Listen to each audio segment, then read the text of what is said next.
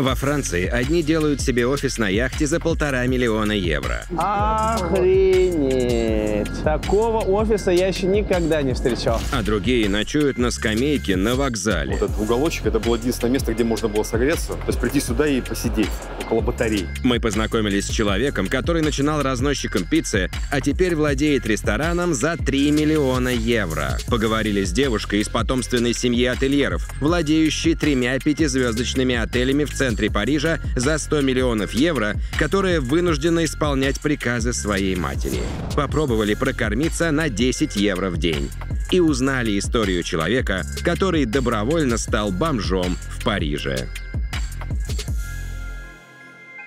Мы приехали в один из дорогущих отелей Парижа, пятизвездочный отель. Более того, нам удалось для вас достать одного из владельца этих отелей. И прямо сейчас узнаем, как же живут французские мультимиллиардеры, которые управляют пятизвездочными отелями.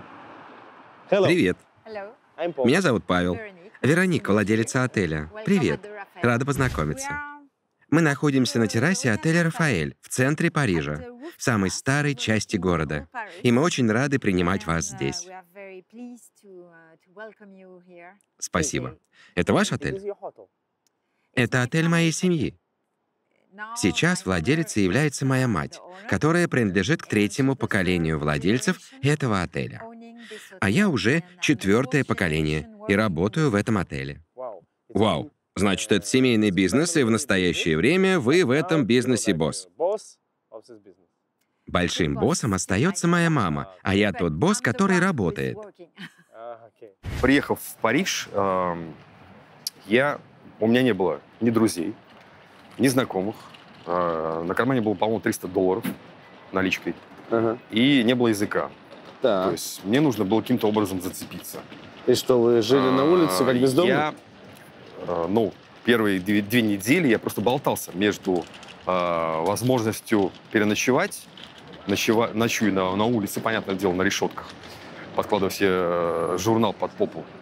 И э, это, это было единственное место, где я четко знал, что есть э, место, где я могу спокойно посидеть, согреться. Это уже осень была, конец октября, начало ноября. Шли дожди, а я как нормальный парень из э, Санкт-Петербурга, тогда еще был Питер, э, Ленинград, э, я приехал в кожаной куртке, замшевые ботинки, ну такой типа вот ну, Стильный. да, стильный, да.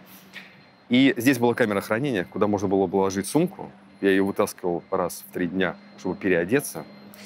А там же лежало, э, были сигареты, это как разменная монета на Ага. всякий случай жизни.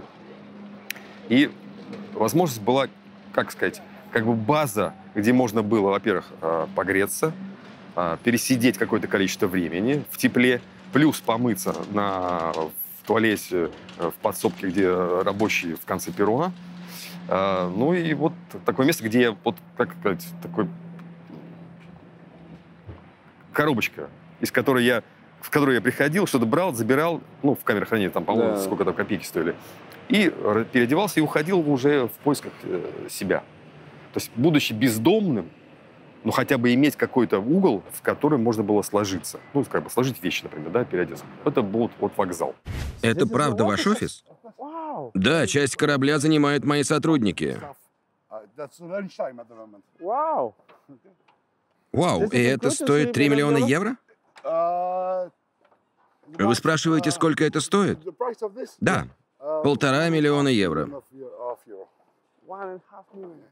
Это главный офис всех ваших ресторанов или только этого? Все- всех ресторанов. Здесь работает 25 человек. Охренеть. Такого офиса я еще никогда не встречал. Выглядит невероятно. Привет, Павел. Я Аким. И это ваш ресторан. Это один из моих ресторанов. Один из ресторанов? У вас их что, много? У меня восемь ресторанов. Восемь ресторанов? Да. И все ваши рестораны такие уютные, как этот? Они все разные, но концепция одна. Маленькое меню с хорошими ценами, и во всех шеф знаменитость. famous. Мы люди прямолинейные и спрашиваем напрямик. Начиная сразу с денег. Если я захочу открыть ресторанчик вроде этого, сколько мне нужно денег? Сколько вам потребовалось? Этот подороже, потому что он побольше. Этот нам обошелся в 3 миллиона евро.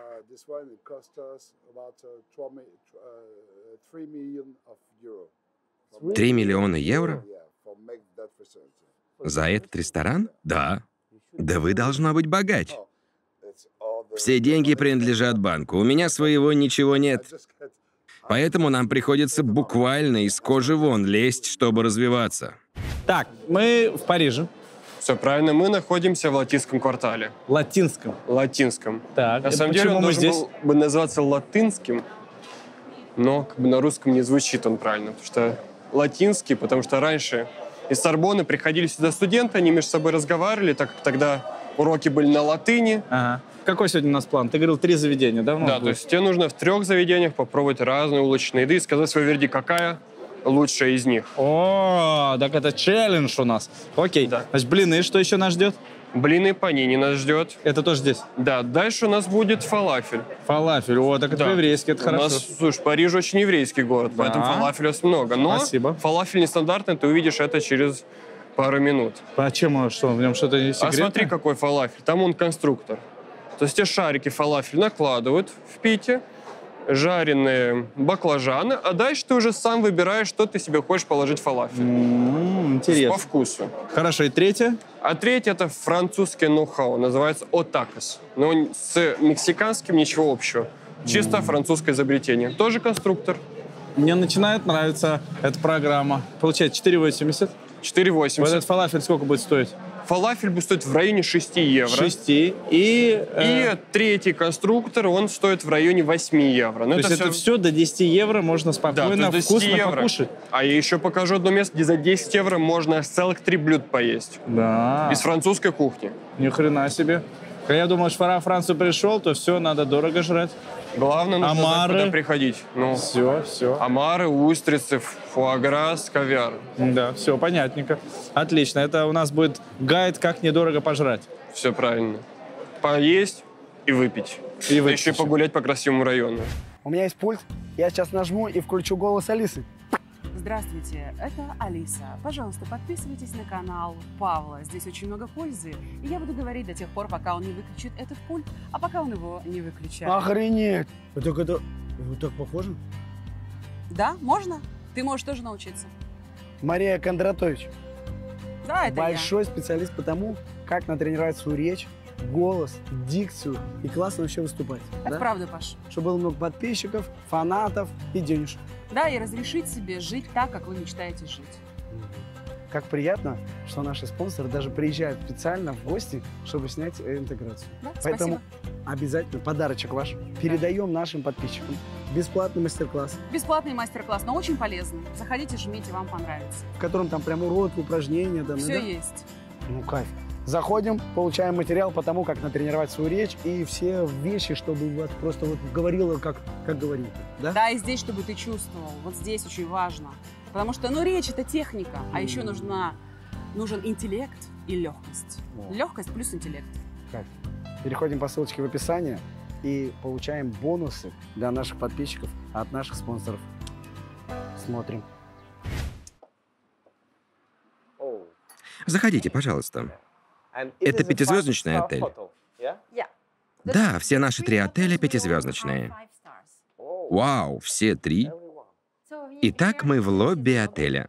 Все деревянные панели оригинальные. Они здесь с самого начала, и мы их постоянно реставрируем.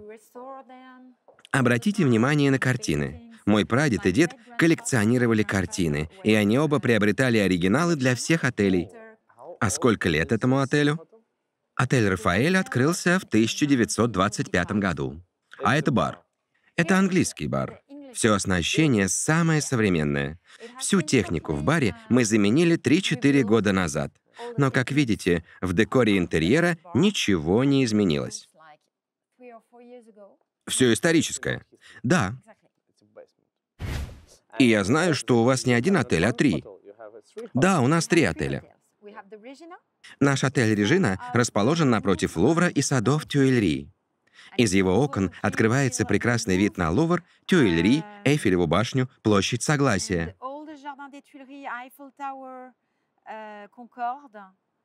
Превосходный вид, и район просто волшебный.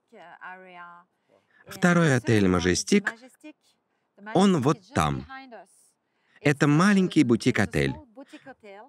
В люксах есть кинчинет, мини-кухни. По сути, это гостевые апартаменты с обслуживанием пятизвездочного отеля. Там есть тренажерный зал, бассейн, парковка для гостей. Проживая в Мажестик, вы чувствуете себя настоящим парижанином. А Рафаэль, где мы сейчас находимся, это не просто отель. Это скорее маленький частный музей. Все номера разные, декор везде старинный. Вы живете как будто в музее. У нас такие же деревянные панели, какие можно увидеть в музее Метрополитен в Нью-Йорке. Как так получилось, что вы оказались бездомным в Париже? Все очень элементарно. Я сижу, э, это был, э, это была осень 98 -го года. Я живу в Питере, занимаюсь бизнесом, мебельная фабрика. А, и тут у меня случился глюк. Поеду в Европу. То есть ни с того, ни с сего. Но у вас я... свой бизнес, мебельная фабрика. Да, но я думаю, что, скорее всего, у людей есть... Э, лично у меня срабатывал такой момент, э, чуйка, да, когда ты понимаешь, что нужно, не то что валить, да, а нужно просто поменять место ага. срочно. То есть неважно, в каких обстоятельствах находишься, что тебя держит. Человек ничего не держит по факту, кроме того, что если у тебя есть внутреннее состояние, когда тебе надо просто куда-то ломануться, надо ломануться. И причем это у меня было не один раз. А, как-то однажды, э, отходя далеко, э, я служил в армии, mm. в Афганистане. Mm. Ночью, выходя на, на дозор, ну, мы там все там дозорили по ночам, да, я а, тут вдруг заходил в туалет. В Капонире это как такая типа траншея, да, да. На, в землянках, ну, как бы на заставе. Как бы неудобно писать, потому что все же ходят, потом это будет пахнуть. Я, естественно, ушел из Капонира, из этого да, места, где вот я нес службу. Да, да. Пописал, вернулся обратно, и в этот момент мне опять что-то захотелось пописать. Вот как, как будто организм начал давить на меня. Я только отхожу, делаю два шага, и туда прилетает э, пулеметная очередь. То есть я думаю, что, скорее всего, в тот момент, в 98 году, мне сработала какая-то чуйка, ну, что надо было резко исчезнуть. Я э, звоню знакомому, говорю, слушайте, а как э, в Европу поехать? Они говорят, ну вот есть визу, могут поставить за один день. Я говорю, куда? Во Францию. Я говорю, ну ладно, давайте во Францию. Мне ставят визу. Я оказался в компании э, выходцев из Украины. И, по-моему, был еще парнишка из Германии, который занимался тем, что он везде где-то где-то оставался жить. Да. Вот. И я с этими украинцами э, познакомился. Э, за пачку сигарет я у них выменил информацию. И мы с ними поехали сюда, на вокзал. Ну, сказать, что здесь, в принципе, можно остановиться. И еще, я думаю, что, наверное, скорее всего, я сейчас вот точно не помню детали, но э, где-то здесь, около вокзала, была дармовка. Дармовка — это когда э, секюр попюре или э, ресторан Дукер, это как называется, кто кормит uh-huh. бездомных, приезжают на, на машинах, на автобусах и раздают горячую пищу. Uh-huh.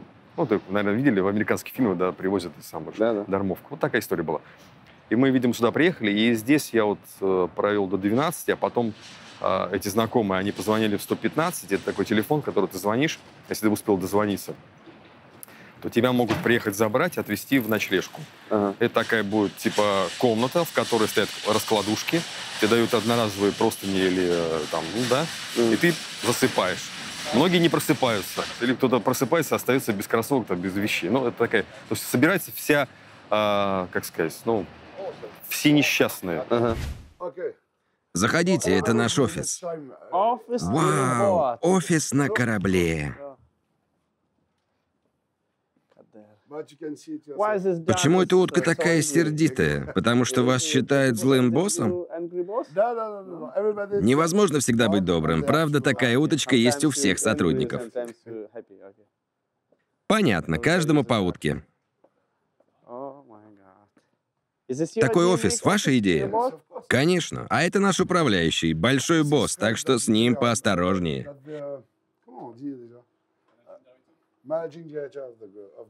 А, большой босс. Привет. Здравствуйте.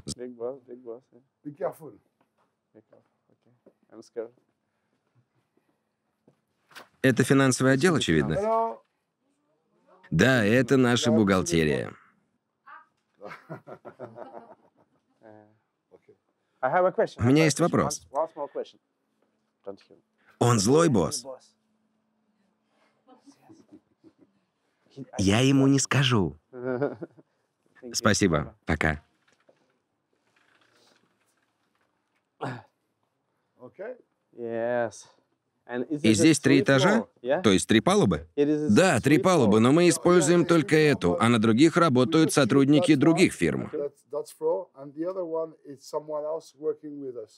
Oh, А, вы сдаете часть в аренду. А это что? Это жвачка? Да, угощайтесь. Mm. Жвачка, как в детстве. Потом попробую. Uh. Ah. Николя. И все ваши сотрудники могут обедать в вашем ресторане? Да, конечно. Бесплатно? Ни в коем случае. Ясно. uh, Можете, пожалуйста, поделиться своей историей? Как вы основали свой невероятный бизнес?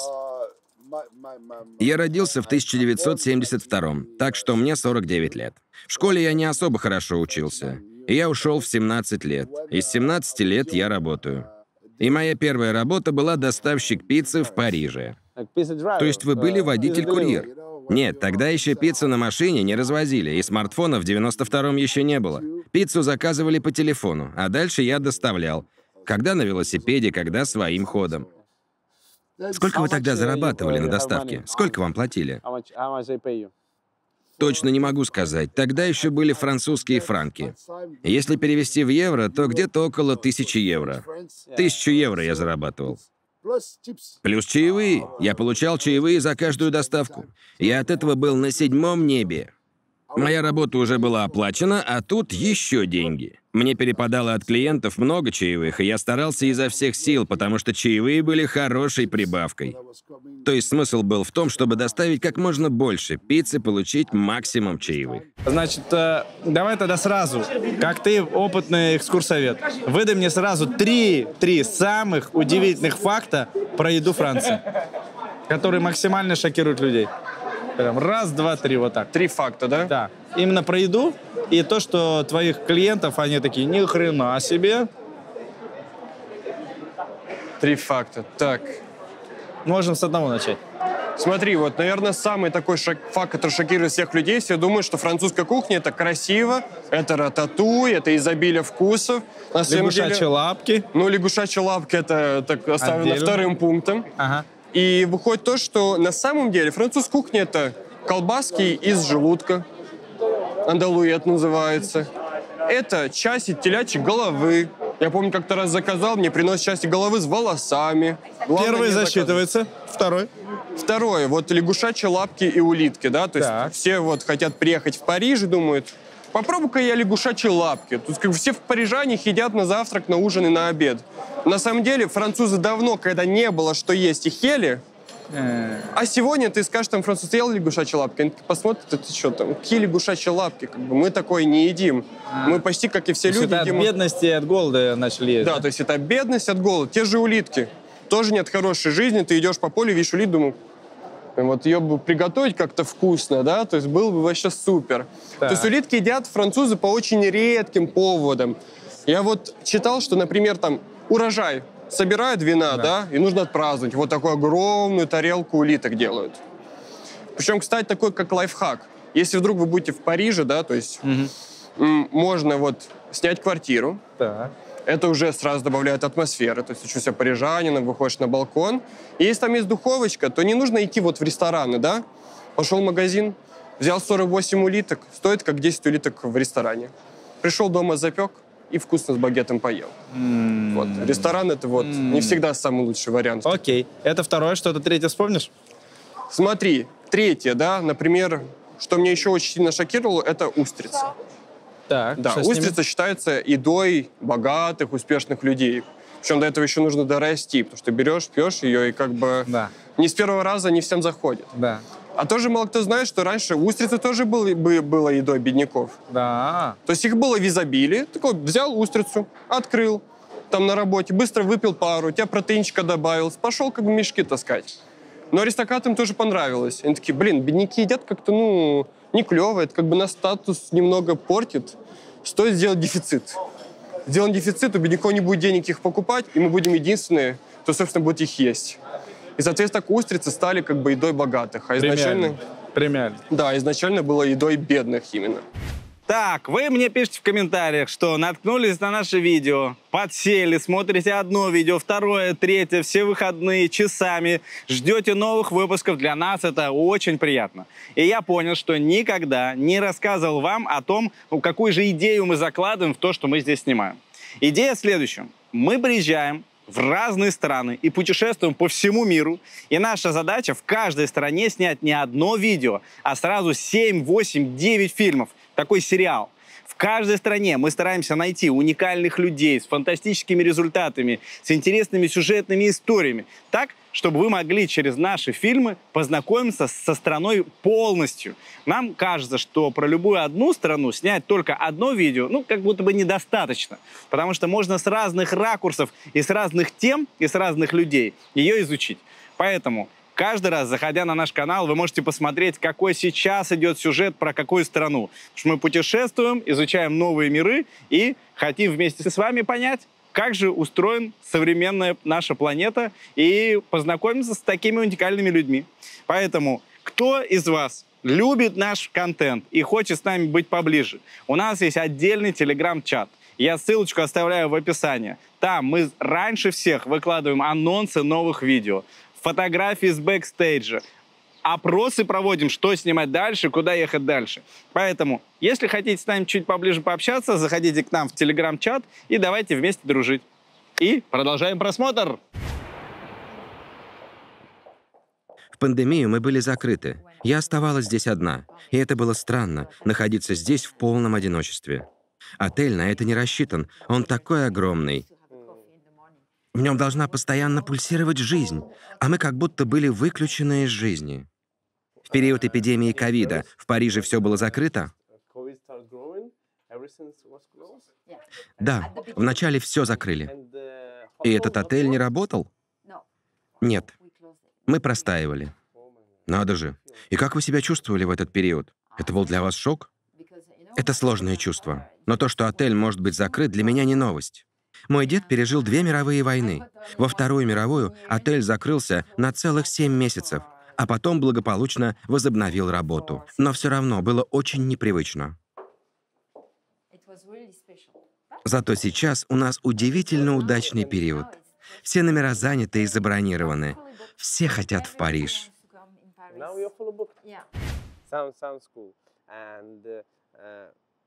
Я одного не понимаю, и это для меня очень важный момент. Вы родились в семье, которая владела отелем. И всю жизнь, с детства вы знали, что будете работать в этом отеле. Это так?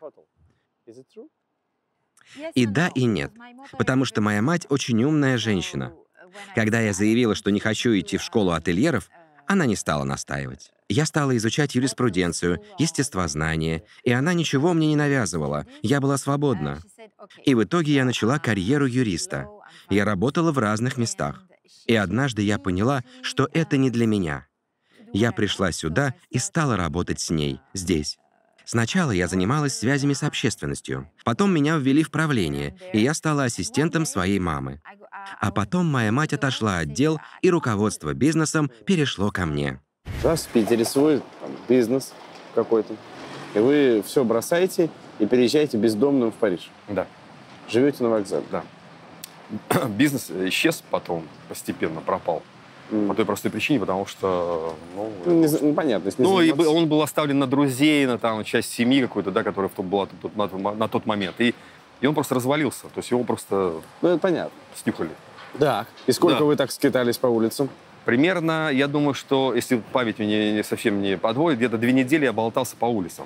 Ну, Мгм. примерно, в поисках чего-то. Потом я нашел э, раскладушку в коридоре у некой Любы в, в 13-м квартале. Это такая русская иммигрантка, я сейчас не знаю, жива или нет, потому что 20 лет прошло. А она каким-то образом находила э, квартирантов около э, церкви. Ага. Александра, э, Александра Невского, здесь есть собор. Ага. И она находила квартирантов за 50 э, франков, за 50 франков за сутки давала раскладушку. Так, И я вот, меня как-то к ней подсунули. То есть я сначала в коридоре спал, ну понятно. а потом кто-то съехал, и меня переселили в комнату, где я познакомился с друзьями, с которыми я до сих пор дружу. А вот на этом месте, вот здесь, вот, да, сейчас уже нет, была огромная камера хранения. Сейчас камеры хранения вообще во французских вокзалах, они исчезли. А вот здесь вот перрон, да, закрыто, вот в том конце перрона был туалет для, э, для уборщиков вокзала, где можно было помыться без горячей воды. То есть это, вот- это был тот мир, Это тоже вы, так сказать, нелегально туда проникали. ну да, я приходил в самый конец, там быстренько открывал дверь, заходил, мылся. Однажды пришла уборщица, негритянка, такая смотрит, такая, я, а я стою в трусах и пола- полощусь там в, этом, в раковине. Она такая, я говорю, сова. Помылся, а, ну, обтерся бумагой, да, Ага. туалетной бумаги по туалетам набрал и, э, и ушел. Все. А камера хранения была здесь. Переодевал, брал вещи, шел туда, мылся, переодевался, складывал обратно и за- засиживался вот здесь. Неужели вот в эти моменты у вас не было вопросов к своей самооценке? Какая самооценка? Ну, вы Сила взрослый воли. мужчина. Идешь, и все, какая самооценка. Самооценка о чем? О чем а подумают о, о мне другие? Или Сами о как? себе. Если Взрослый ты взрослый мужчина, Так. вынужденный жить э, как бездомный. идущий к своей цели. И, И не важно, не важно, какую, не важно какая, какая дорога. Важно то, что к чему ты пришел. Ага. Вот, вот, самооценка должна быть так. Мне все равно, как обо мне подумают другие. Главное, что я о себе думаю. Что я мужик, я могу, и мне не важно как. Мгм. Вот и все. Вы покажете свой ресторан? Конечно. Чтобы основать этот бизнес, вы потратили не только много денег, но и много нервов. Конечно. Сейчас я вам все покажу и расскажу. Правда, я не так хорошо говорю по-английски. Я говорю не лучше вас. Давайте сначала зайдем туда, если там открыто. Вот, открыто. О, это как бы приватный зал. Именно. В основе нашей концепции лежит река. Понимаете? И вот в этих витринах мы видим то, что служит отсылками к реке. Вот как? Да, все это имеет целью создать впечатление, что вы на борту яхты. Вы совершаете морское путешествие.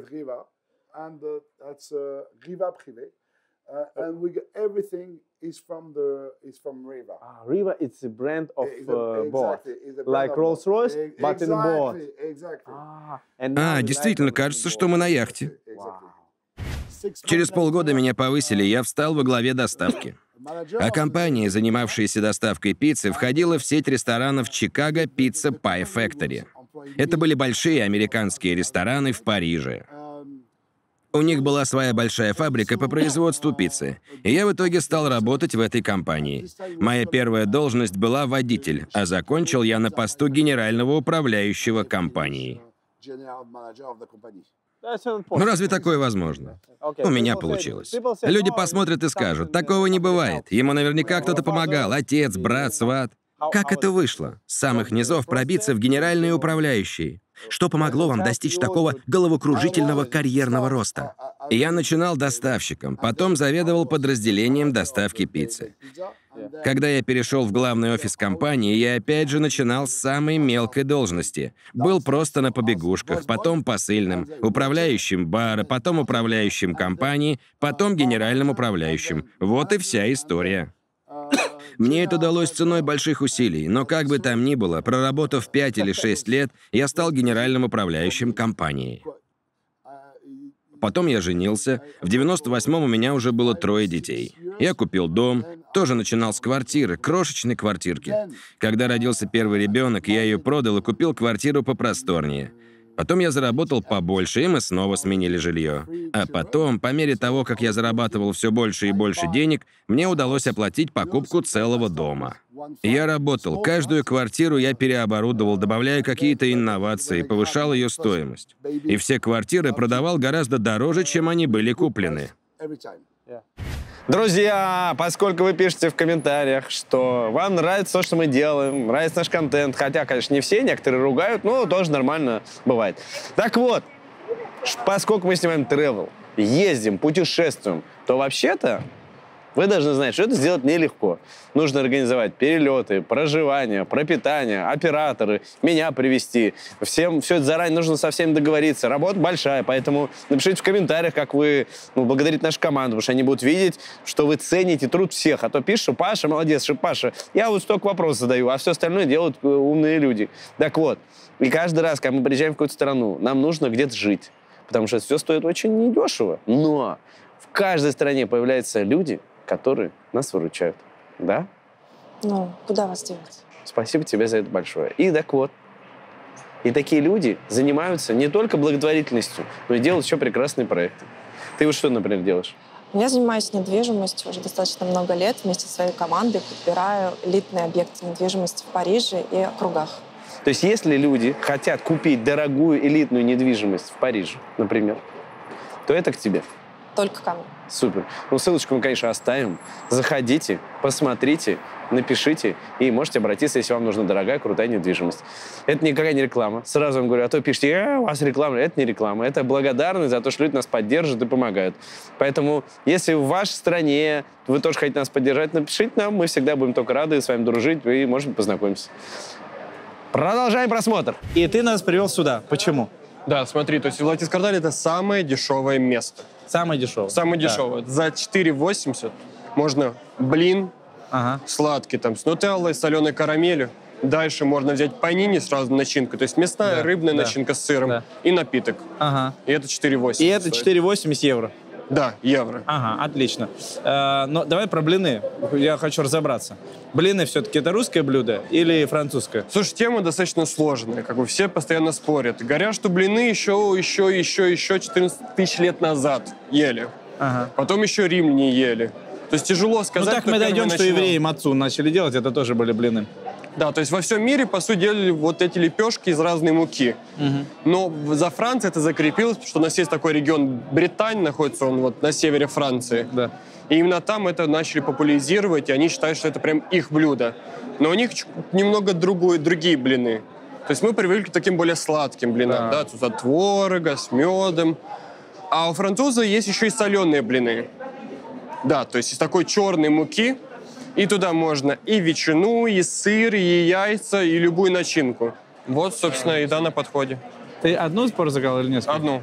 Тогда в следующем В закажем. следующем закажем тогда больше. Фалафель или такос? Такос мясной. Фалафель. Мясной с картошкой и с сырным соусом будет. Вот, это интересно. Все? Итак, все, все у нас готово. Ага, так, так. Что, мы должны прямо на, на лестницу сесть, да, вот так? Да, можно сесть, Ну, чтобы было комфортнее. Как раз тут салфеточка грязная. Ой, блин. О, хорошо. И давай, начнем Так. с соленого сначала. Надо соленый сначала? Значит, сначала с соленого. Ладно, как раз у нас сегодня операторы мало кушали, поэтому я буду смаковать, чтобы ребята в обморок аж упали. А, тут сыр прям, да. Так, значит что, это багет.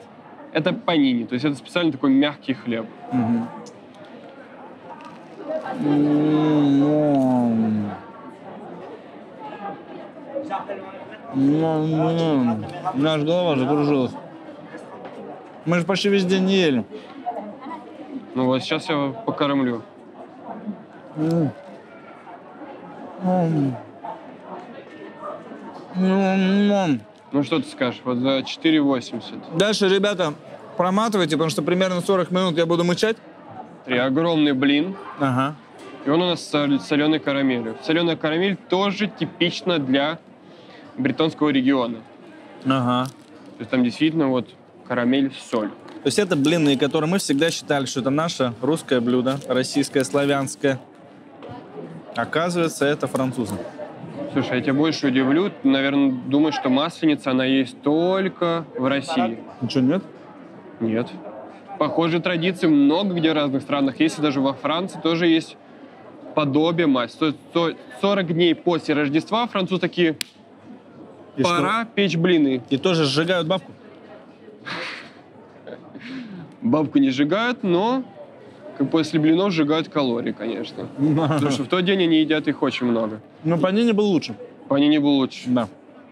Панини был шикарный. Но блины, то есть важно, ой, ой, ой, ой. Ну, скажем, начинки не пожалели. Ну, Важно так. попробовать в Париже именно не с нутеллой там и с бананами блины, да, а попробовать блины с карамелью соленой, попробовать с каштановой пастой. С каштановой пастой Да, такой то есть многие привыкли думать, что у нас каштаны их только жарят на улице в таких не самых красивых бочках. А с них пасту делают что? А их, да, можно в пасту переделать, можно их с морепродуктами поесть, можно мороженое добавлять. То есть это как бы французский аналог нутеллы. Oh, so beautiful. Какие прекрасные виды. На другой стороне тоже есть терраса. Покажете нам? Здесь тоже красиво. Несколько лет назад мы установили здесь лифт, который ведет на эту часть этажа, из которого открывается великолепный вид.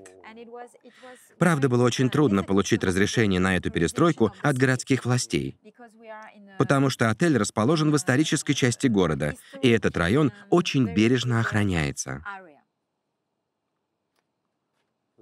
Очень красиво, очень красиво. А кому пришла идея поставить лифт? Идея принадлежала моей маме, а воплотила ее я.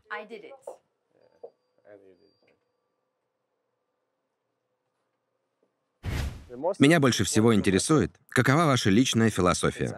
Потому что, например, я и многие мои друзья — выходцы из небогатых семей. То есть чего-то достигли, начав с нуля. И на этом пути у нас сформировались определенные жизненные установки. Мы должны стремиться, должны чего-то добиться, идти к поставленной цели. Такие установки создают большой стресс. И вот я вижу вас. Вы выглядите счастливой, в вас нет нервозности. И я понимаю, что, возможно, вы такая благодаря тому, что ощущаете за собой надежный тыл, опираетесь на вашу семейную историю. Мне хотелось бы это понять. Можете поделиться со мной своими основными правилами, на которые ориентируетесь в жизни? Мой лозунг — двигайся вперед, не останавливайся. Не оглядывайся, не отступай, смотри всегда вперед. У меня тоже есть цели. Я должна многого достичь. Но я считаю, наше время отличается тем, что надо принимать во внимание личность человека. Это влияет на стиль управления. Мы должны понимать ситуацию, людей. Человек изо дня в день меняется, управление тоже должно меняться. Мы должны адаптироваться к новым реалиям. Сейчас позиция «я владелица и уже поэтому крутая» устарела.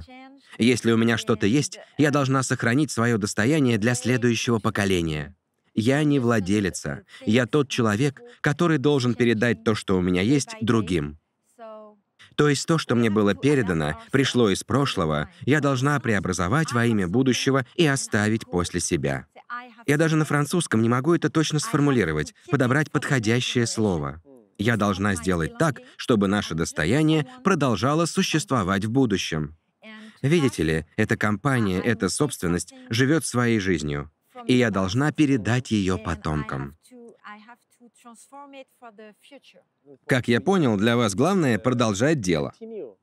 Да, я должна ориентироваться на реалии нашего времени, и компания должна им соответствовать. И я должна с уверенностью смотреть в будущее.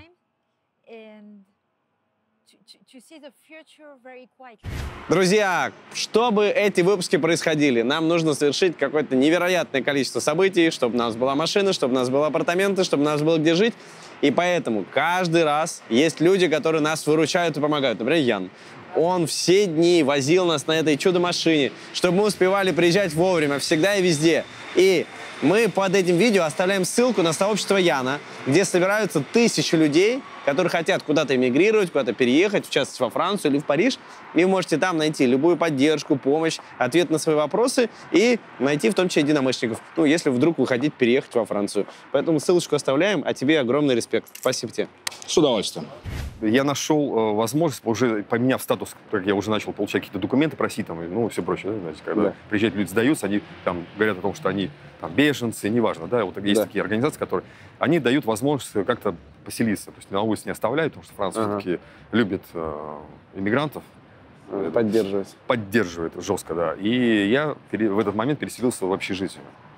Общежитие это Общежитие вот тоже для бездомных. да, для бездомных или для рабочих, которые там кто-то освободился из тюрьмы и все прочее. В чем, в чем суть всего этого общежития? В том, что ты приходишь туда только ночевать.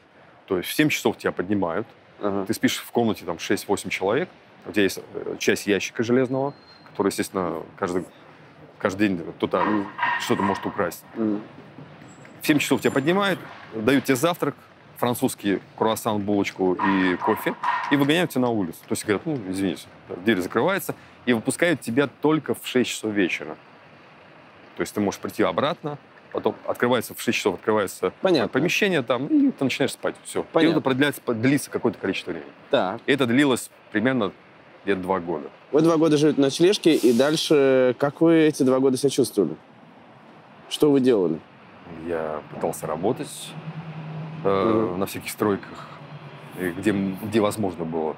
Там у поляков, у таджиков, ну, образно говоря, да, там э, делал всякие ремонты. В основном не ремонт, а занимался такой Чернорабочий. чернорабочий, вытаскивал что-то, фигню какую-то. Ага. Потом я устроился работать в русский ресторан «Казаки». Ну, как О, по-черному. Который, которым владели э, семья русская и э, выходец из Африки, черные, которые Ага. разговаривают по-русски как э, вообще.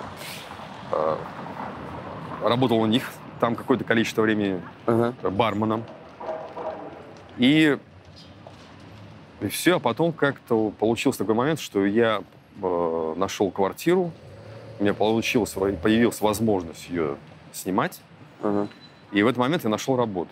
То есть как-то вот кладку. Совпало. Раз, раз, раз, раз. И 2 мая я вышел на работу как бармен в ресторан «Пениш». Это корабль э, в таком болотном районе при, при- предпарижье э, Му- Ага. и, и Силь Мулино, напротив Первого канала, ИТФ. э, там, и, да. Ага. и вот именно там я устроился работать. Классно. А сколько вам тогда уже заплатили? Э, Я получал 10, э, нет, вру, Э, 8 тысяч франков. Устроился на 8 тысяч франков. Это примерно было 1000 евро. Э, Тысяча евро. Еще евро еще не ходили. Ну, понятно, да. И э, буквально через 6 лет э, после работы в ресторане я стал э, шеф-барменом. А, у меня была зарплата с где-то 3200 чистыми. Я был самый высокооплачиваемый бармен во Франции. После чего у меня, естественно, новые хозяева сказали, надо увольняться парня. Он слишком много ест. И меня уволили О, с, с хорошим пособием на, на много лет вперед. Ну, как-то так. В нашей концепции центральной является средиземноморская тема. Поэтому у нас яхты, вода. Мы создаем летнюю атмосферу, радостную атмосферу Сан-Тропе, французской ривьеры.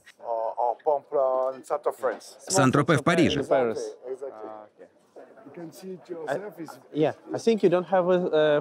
Я вижу, у вас полный аншлаг. Наверное, рассадили за столики всех своих друзей? Конечно, мы же знали, что вы придете снимать, вот и схитрили, чтобы произвести впечатление. А так здесь всегда пусто. На самом деле, сегодня здесь как-то тихо. Обычно атмосфера более оживленная, и гостей еще больше. Неужели еще больше? Бывает, здесь просто яблоку негде упасть. Мы пришли сюда к открытию в полдень, и через полчаса уже все занято. Да, всегда так.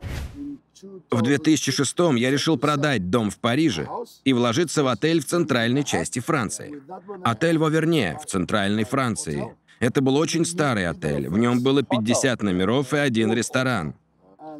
Извините, я хотел бы остановиться на одном моменте, уточнить. Вы продали свой дом в Париже, на который всю жизнь зарабатывали. А продав, вы вложили все деньги в бизнес? Именно.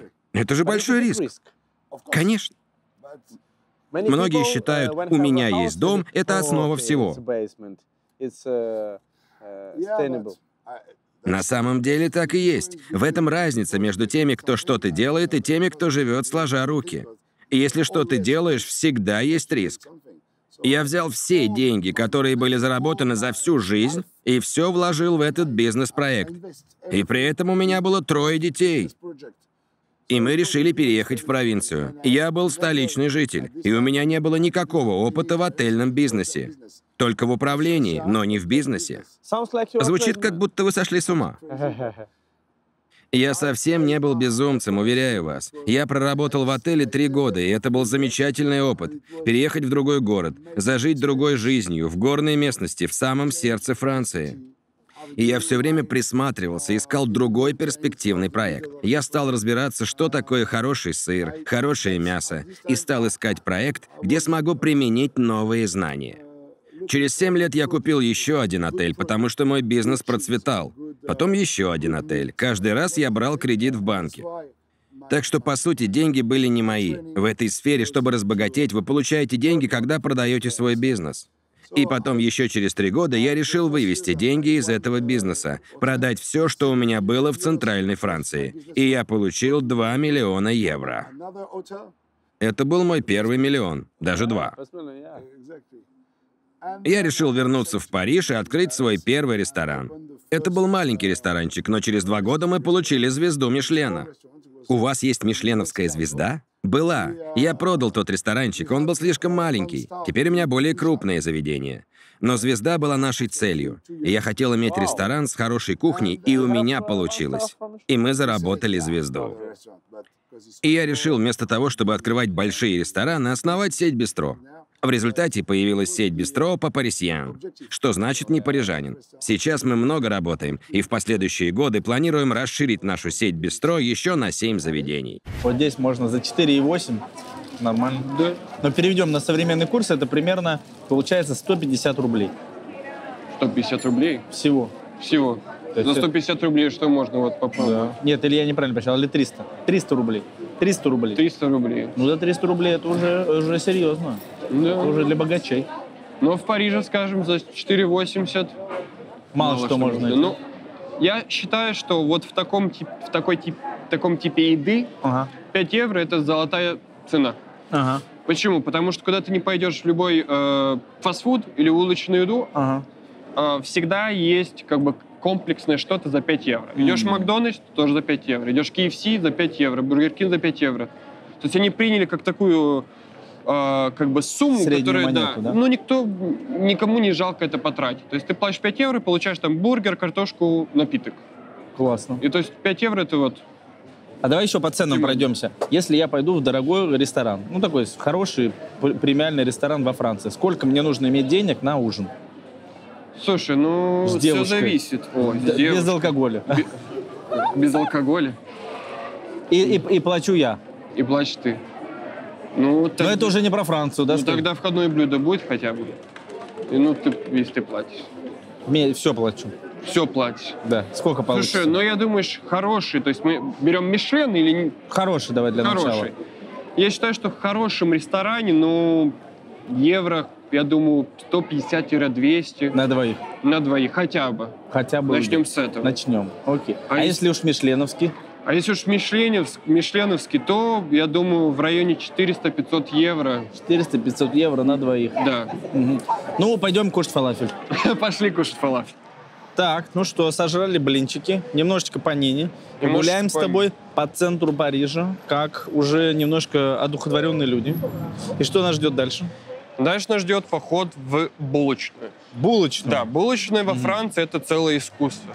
Это главное место, кто любой парижанин хотя бы раз в день ну точно зайдет. Или утром в 7 утра за новым багетом, свежим, прям горячим. Причем половину до дома не доходит, конечно же. Это как в детстве, батон покупаешь, пока идешь, сожрал. Или в да? обед, то есть все думают, что, например, в обед французы такие идут в ресторан, садятся, вино, там два часа едят, а на самом деле многие французы, если посмотреть, у них времени нет, или многие не хотят тратить много денег, и просто идут в булочную за чем-то вкусным. Давайте вот сейчас прям успеем, я думаю, под закрытие. Давай. Они уже закрываются, хотя время-то 8 часов Bonsoir. только, да? On vous disait un petit tournage, vous vous souvenez, je venu quelques jours. Итак, давайте посмотрим пока что, что вот здесь у нас осталось. Итак, то есть что самые стандартные французы берут в булочную? Они приходят, и это сэндвичи из багета. Причем сэндвичи, конечно, будут немного дороже, чем 5 евро. То есть это них- одна булка только стоит 4, да?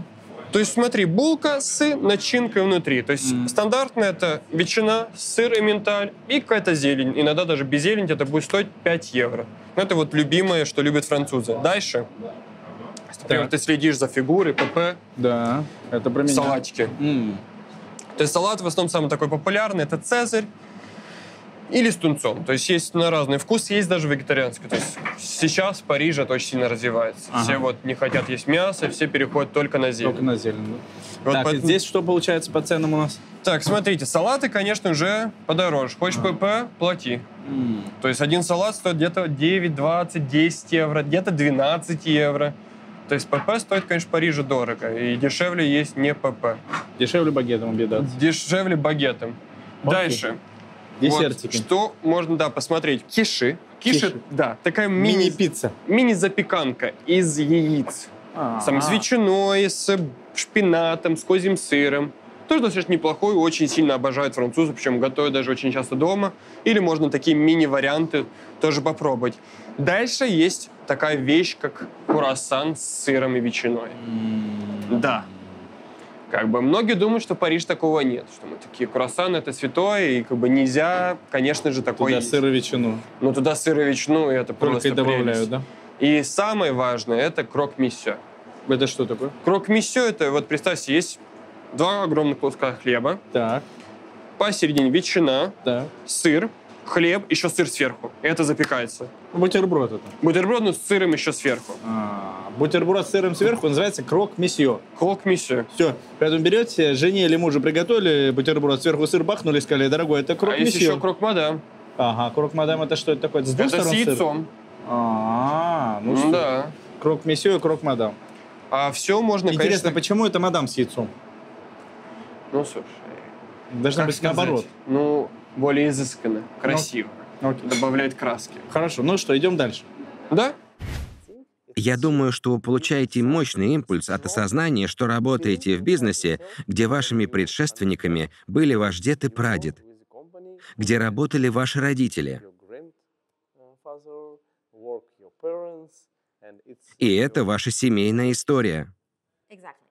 Вы правы. История нашей семьи связана с историей всех наших гостей с самого начала.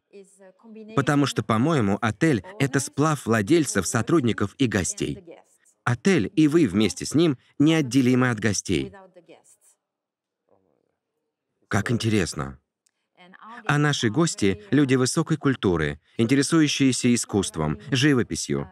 И это создает особую атмосферу подлинно французского отеля, которого не коснулся международный образ жизни. У меня есть один вопрос, но я его задам немного позднее. Давайте пойдем дальше. Мой следующий вопрос. Каким будет ваш следующий шаг? Что, как вы считаете, надо изменить в вашем бизнесе соответственно новым веяниям? Мы должны развиваться по своему пути, выстоять, не опираясь ни на какую международную группу компаний. Практически все, что мы зарабатываем, мы инвестируем. Мы вкладываем средства в функционирование отеля. И еще мы инвестируем в персонал. Чтобы отель процветал, мы должны заботиться о благосостоянии своих сотрудников. И мы относимся к их благополучию очень серьезно. Если они не будут испытывать удовлетворение от своей работы, гости это почувствуют. Это семейный бизнес, но наша семья не настолько велика, так что приходится привлекать людей со стороны. Мы должны хорошо ладить между собой, с нашими коллегами. Только так механизм отеля будет работать ровно, без скрежета и сбоев. И, по-моему, гости это чувствуют. А люди все время меняются, и все процессы надо постоянно контролировать и совершенствовать, идти в ногу с переменами. Очень интересно. Вы упомянули сотрудников. Мне кажется, в работе отеля персонал — это важный аспект. Важнейший. Отель — это сервис, а сервис целиком строится на людях. А как вы нанимаете людей? Как вы понимаете, что этот человек не сможет у вас работать, а тот подойдет и его следует нанять? На каких критериях основываются ваши решения при отборе персонала?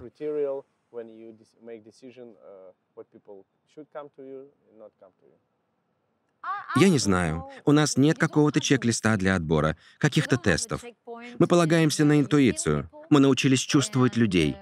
Мы проводим собеседование, и становится ясно, как тот или иной кандидат относится к людям, как представляет себе свою будущую работу. Дело в том, что у нас есть другая проблема. Кандидатов на работу у нас не хватает. То, что вы сказали, я нахожу очень важным.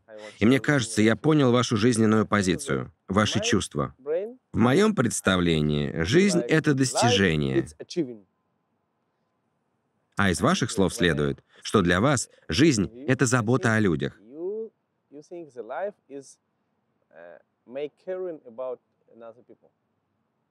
Вы не можете жить в одиночку. Вам приходится взаимодействовать с другими людьми. И вы либо делаете это как можно лучше, либо впереди вас ожидают проблемы. Человек не может бежать один, соревнуясь сам с собой, а потом заявить «я победитель». Если вокруг никого нет, кому какое дело до ваших побед? Мы должны побеждать сообща.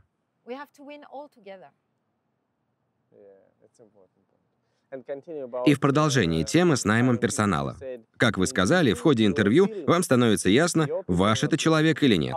Как вы это чувствуете? Не знаю, что вам ответить, потому что я сама собеседование не провожу. Но, конечно, если человек имеет опыт работы в международной компании, здесь у нас, если ты не занят одной работой, то должен уметь выполнять другую, быть, так сказать, поливалентным. Здесь есть еще много юридических моментов. Допустим, нам кто-то понравился. Мы наняли человека на работу, и вскоре выясняется, что человеку некомфортно работать по нашим стандартам. Он потом просто уйдет. Это вполне естественно. Это должно быть отражено в контракте. А что потом, чем вы потом занялись? Ну, когда я работал еще в ресторане, я, э, да, э, история очень долгая была. Да. В 2000 году мы начали придумывать, как устроить э, первую русскую э, станцию во Франции. Ага. Русскую станцию? Ру- русскоязычную станцию. А Вы ведь радиостанцию? Да, радиостанцию. Был какой-то коллектив, который собрался, потом он развалился, и в конце концов мы остались вдвоем с парнем из Ростова, который когда-то работал диджеем на, на ростовском радиостанции. Так. И э, в тот момент э, я нашел какую-то компанию, но чтобы получить частоту FM, это очень тяжело. И мы решили пойти другим путем. Мы решили, э, как сначала все получать частоту FM, потом делают, организовывают интернет-радио. Так. Мы пошли другим путем. Мы, вернули- мы пошли в интернет-радио для того, чтобы потом получить частоту FM. Ага. И зависли в этом интернет-радио на 15 лет. Итак, вы, значит, делали свою интернет-радиостанцию. Да. И что, 15 лет? Она, 15 лет она стала вещали. популярна? А, У нас было достаточно где-то по 3 миллиона слушателей ежемесячно. А, Слушал весь мир до, м- до момента того, что пришел, как сказать, творческий кризис, да, когда ты понимаешь, что ты много сделал, и тебе надо двигаться дальше. Сейчас что вы делаете? Сейчас я занимаюсь медиапроектами. М. То есть это репортажи для телеканалов, съемки М. документальных фильмов, а, ТикТок и Инстаграм. Ну, как обычно, как, как молодежь живет сейчас. Класс. Мы официально профессиональные тиктокеры Ага. Инстаграме и, и, э, снимаем кино. Э, Вы же еще актером где-то уже снялись. Но э, после того, как я начал делать радиостанцию, я говорю, что это э, начали открываться различные двери. Ага. И э, когда ты начинаешь погружаться в медиапространство, которого я не видел до этого, да, Ага. то есть у тебя одна дверь, вторая, третья, ты, тебя начинают узнавать. Ты, э, ты, ты единственный, кто делает э, станцию на русском языке во Франции. Ага. И, и ты потом начинаешь проникать в кино, в театр и все прочее. И я решил пойти в кино. Так. Одна, вторая, э, рус, русские, один кастинг-директор очень хороший, да, он мне Ага. прислал как-то однажды письмо, сказал, Эдуард, мы вас приглашаем сниматься в кино. Это был 2012 год. И Я где говорю, а как же кастинг? Это выхожу тебе искать, э, по-моему, второй сезон, пятая серия, типа, Ага. с, с- с очень известными российскими актерами. Я говорю, слушайте, Наталья, а как же кастинг? Она говорит, Эдуард, вы прошли кастинг. Она даже не видела меня вживую. Я приехал и снялся. И все, и поэтому по- потом все пошло. Одно, другое, третье. Сколько у вас уже ролей было? Слушайте, ну, э, эпизо- и- и- в основном это эпизодическая история, да, но это много. Блин, я уже его перестал считать. До 20 считаешь, потом уже... Я единственный фильм смотрел, э, кусок. Это было э, «Московские тайны», по-моему. Ага. Да, вот смотрел. Остальное даже не видел вообще. Супер. И самое интересное, что сейчас, когда ты уже отснялся да, во французском кино, ты получаешь э, ежегодные э, суммы за съемки. Даже за, за эпизоды. Ну, ты снялся в кино, в зависимости от контракта, который ты подпис- подписываешь, потом тебе платят э, определенные Royalties? royalties, да, за съемки. И Ничего ты себе. так два раза в год получаешь какие-то дивиденды. Ну, сколько это, ну, например, сколько вам денег раз в Ну, в- слушай, это за, за три секунды в кадре Так. тебе приходит э, 200 евро. Роялс. Кидают Ничего тебе себе. просто вот так, да. Ресторанный бизнес сложен тем, что у вас много сотрудников, которые выполняют много мелких задач. Они каждый раз все очень хорошо делают. Как вы управляете своим коллективом? Сколько человек на вас работает? Главное, я пытаюсь поставить себя на место каждого из них. Как бы я справлялся с той или иной работой? Второе — это атмосфера в коллективе. Я на самом деле люблю людей. Это в моем характере. Кстати, поэтому мы и открываем все новые и новые рестораны. Предположим, вы пришли устраиваться ко мне на работу официантом.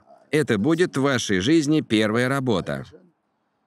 Как у меня, когда я нанялся доставщиком пиццы. И я знаю, что эта работа повлияет на всю вашу жизнь. Через полгода, год, два сотрудник пойдет на повышение. И, может быть, со временем, как и я когда-то, станет генеральным управляющим. Так бывает, все возможно. И у него будет благополучная обеспеченная жизнь, хорошая машина, он будет зарабатывать большие деньги. И в целом жизнь улучшится. Поэтому мы открываем все новые рестораны. Я говорю соискателю, если вы будете выполнять работу как следует, то когда откроется новое заведение, вы сможете занять там должность повыше. Мне это удалось, и у вас может получиться. Вы рассказывали, что начинали с работы доставщика, но так многие начинают. И у вас на этой работе было много коллег. Но не все добились такого успеха, как вы. Как по-вашему, в чем заключается главная ошибка тех, кто вместе с вами начинал?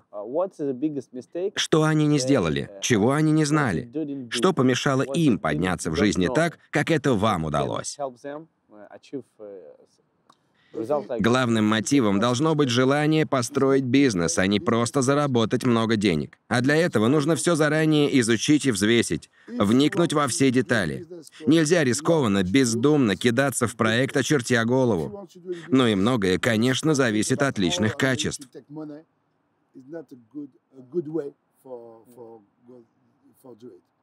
And also.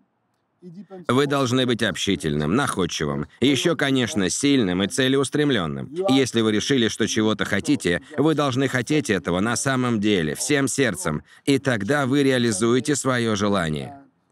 Многие просто мечтают достичь успеха, а настоящего жгучего желания не испытывают. Я уверен, что если бы захотел стать президентом Франции, у меня и это бы получилось. Но я к этому не стремлюсь. Но я достиг всего, чего хотел в юности, и даже того, о чем не мечтал. И если это оказалось возможным для меня, я уверен, что и для многих других это доступно. Разница лишь в том, что можно пассивно мечтать, а можно хотеть и добиваться, идти к поставленной цели. Вот такая у меня жизнь. Я люблю свою работу. Невероятно. Во Франции такая красивая жизнь, элегантно одетые люди, хорошие машины. По-разному бывает, но да, если вы в Париже, центре Парижа. Именно. Вы выезжали за пределы Парижа? Да, немного. У нас здесь барбекю, жаровня. Нам кажется, что в жаркую солнечную погоду людям хочется того, что приготовлено на барбекю. Мы готовим мясо, выделив часть ресторана под зону барбекю. Все на барбекю жарите? Да, здесь готовят блюда из говядины, курятины. И мы готовим такое острое жаркое из свинины, популярное в Испании. Вы уже обедали? Да, я ел рыбу. Рыбу? Окей. Рыбу тоже здесь готовите? Только мясо. Мой друг ел мясо, поэтому у него такой довольный вид. And I see it's not uh, usually uh, barbecue, yeah? I- It is your idea? А устроить здесь барбекю — это ваша личная идея? Конечно, моя. Все, что вы здесь видите, это мои идеи. Так вы не тот босс, что только вкладывает деньги. Вы еще творец. По сути, я все делаю для себя, и я делаю для своих клиентов то, что мне хотелось бы самому. Когда на небе светит солнце, мне хочется барбекю. И я думаю, что я не один такой. Другим хочется того же. Мне нравятся блюда из хороших продуктов, которые быстро и несложно готовить, чтобы ими можно было накормить много людей. И чтобы цены были хорошие. Давай по статистике пройдемся. Сколько мишленовских ресторанов в Париже и во Франции в целом? Смотри, во Франции в целом 528 мишленовских ресторанов. 528? Да, мы проигрываем только Японии. А в Японии сколько примерно?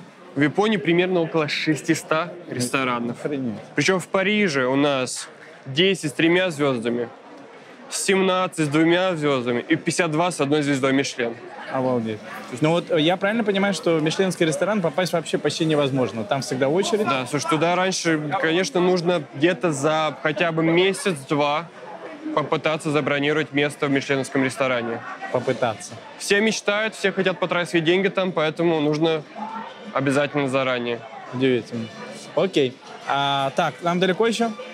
Нет, А ну, то уже- буквально уже за углом. Уже? Хочешь уже попробовать, да? Да, все, я уже не могу. Пойдем, пойдем Хочется уже фалафель. Это тоже, да, знаменитое заведение какое-то? Да, то есть в Владимирском квартале тут очень распространено именно гирос. Ага. То есть, например, вот Гирос это что такое? Шаурма? Гирос, да, это почти шаурма, но только в греческом виде. То есть это греки придумали. Причем главная такая особенность между шаурмой или кебабом, что в Париже, то, что гирос можно делать из свинины. Так, чем это заведение знаменито? Она находится в самом центре именно фуд-части латинского квартала. То есть чаще всего посетители именно здесь останавливаются. Тут самый большой поток. То есть они днем тут огромная очередь, не пройти. И что такое особенное у них есть? Во-первых, вот гирус просто в лаваше. Да. Ты берешь, у них есть свой специальный греческий соус. Тадзики берешь, пробуешь, вкусно. Есть еще другая особенность, конечно, это главное не показывать итальянцам. Давайте покажу. Чуть туда пройдем. Давай. У них очень такой фьюжн двух кухней. Вот это что такое? Это паста И с шаурма. шаурмой. То есть главное итальянцы не показывать, у них, мне кажется, сердце просто разорвется Ну да, от такого сочетания. Ну что, как я говорил, здесь конструктор. Vous êtes ouvert? Ну, я как сын врачей вначале должен спросить, насколько здесь санитарные нормы проверяются? Слушай, в Париже идет контроль, но скажу сразу, не сравните с тем, что в России. В России, конечно, за этим очень сильно следят. Лучше, да? Стараются, конечно же, лучше. Но в Париже, я не скажу, что прям в этом, в этом месте, ну, везде. Просто, как бы, людям все равно. То есть он, в принципе, этими же руками сейчас возьмет, э, сделает мне фалафель, и потом этими же руками возьмет деньги. Да, такое вполне возможно. Но бывает, что перчатку он готовит, а потом перчатка еще красиво берет деньги тоже. Но, скажем так, в этом и контракт. Хочешь вкусно поесть, на что-то нужно немного закрывать глаза. А, Главное, чтобы потом на унитаз не закрыть зад. Э, так, давай, э, что, заказываем? Так, monsieur, c'est bon? Peut faire la commande? Un falafel маус, s'il vous plaît. Seul. Так. Все, я заказал фалафель, сейчас он уже греет. Ага. собственно, питу, положишь, и у тебя будет целая возможность. Набить ее чем угодно, да? Да, смотри, у нас есть... Ну не то, что это все соблазняет, надо признаться. Не все. Не совсем мишленовское, надо признаться. Ой, ну слушай, ну прям немного не дотягивает, я думаю, до Мишлена. Чуть-чуть, да? Ну прям... Из спаси? Вот это- Какой, какой? Вот этот не, не острый? Bon. Pas, pas trop piquant. Вот это нормально. Вот это нормально, да? Да. Ну там, я смотрю, красный перец в сторону плавает. Но это не пикантное. Доверимся этому мужчине. Угу. Хорошо, так. Немножечко. Есть. Дальше что? А, Дальше огурчики смотри. надо бахнуть. Выглядит Конечно. хорошо, да? Овощи это очень хорошо. Огурчики. Опа. Еще один давай. А я могу сколько угодно навалить? Да. Скажем, наша русская душа. Понял. Так, а вот это что такое мне нравится? Редиска, что ли? И редька? Navet. Navet. Excuse-moi, c'est quoi comme... euh, Ça, c'est ça, c'est- c'est navet. navet Il fait de quoi Avec le poivron, il y a de tout. Паврон, est-ce qu'il y a d'oignon Non, il y a pas de Наvet это вот такой овощ особенно, то есть сып перцем. Понятно, ладно. А вон там баклажан еще чем спрятал? А он уже должен был тебе положить три баклажанчика. Положил или нет Не еще? знаю, не вижу там. Не вижу баклажанчика. Avez déjà mis des aubergines ou... Non, c'est aubergine sous soupe limon.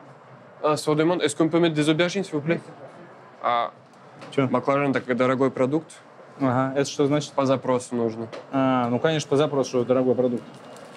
С фамилией Гительман. И здесь еще соусы можно выбрать разные. А, да? А что это за соусы?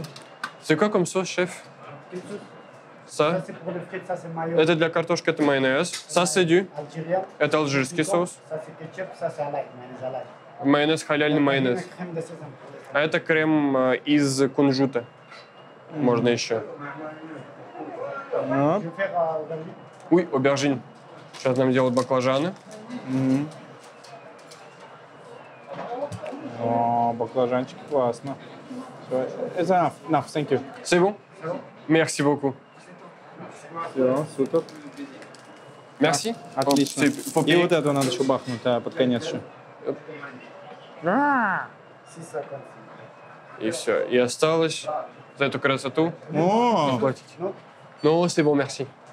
Apple Pay работает здесь, да? Конечно. Ну что, уличный фалафель в Париже.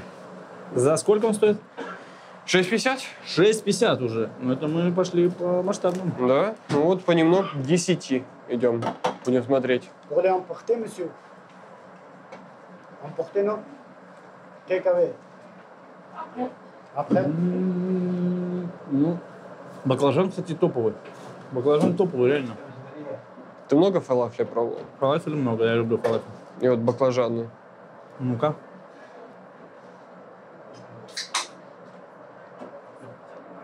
Слушай, реально очень вкусно.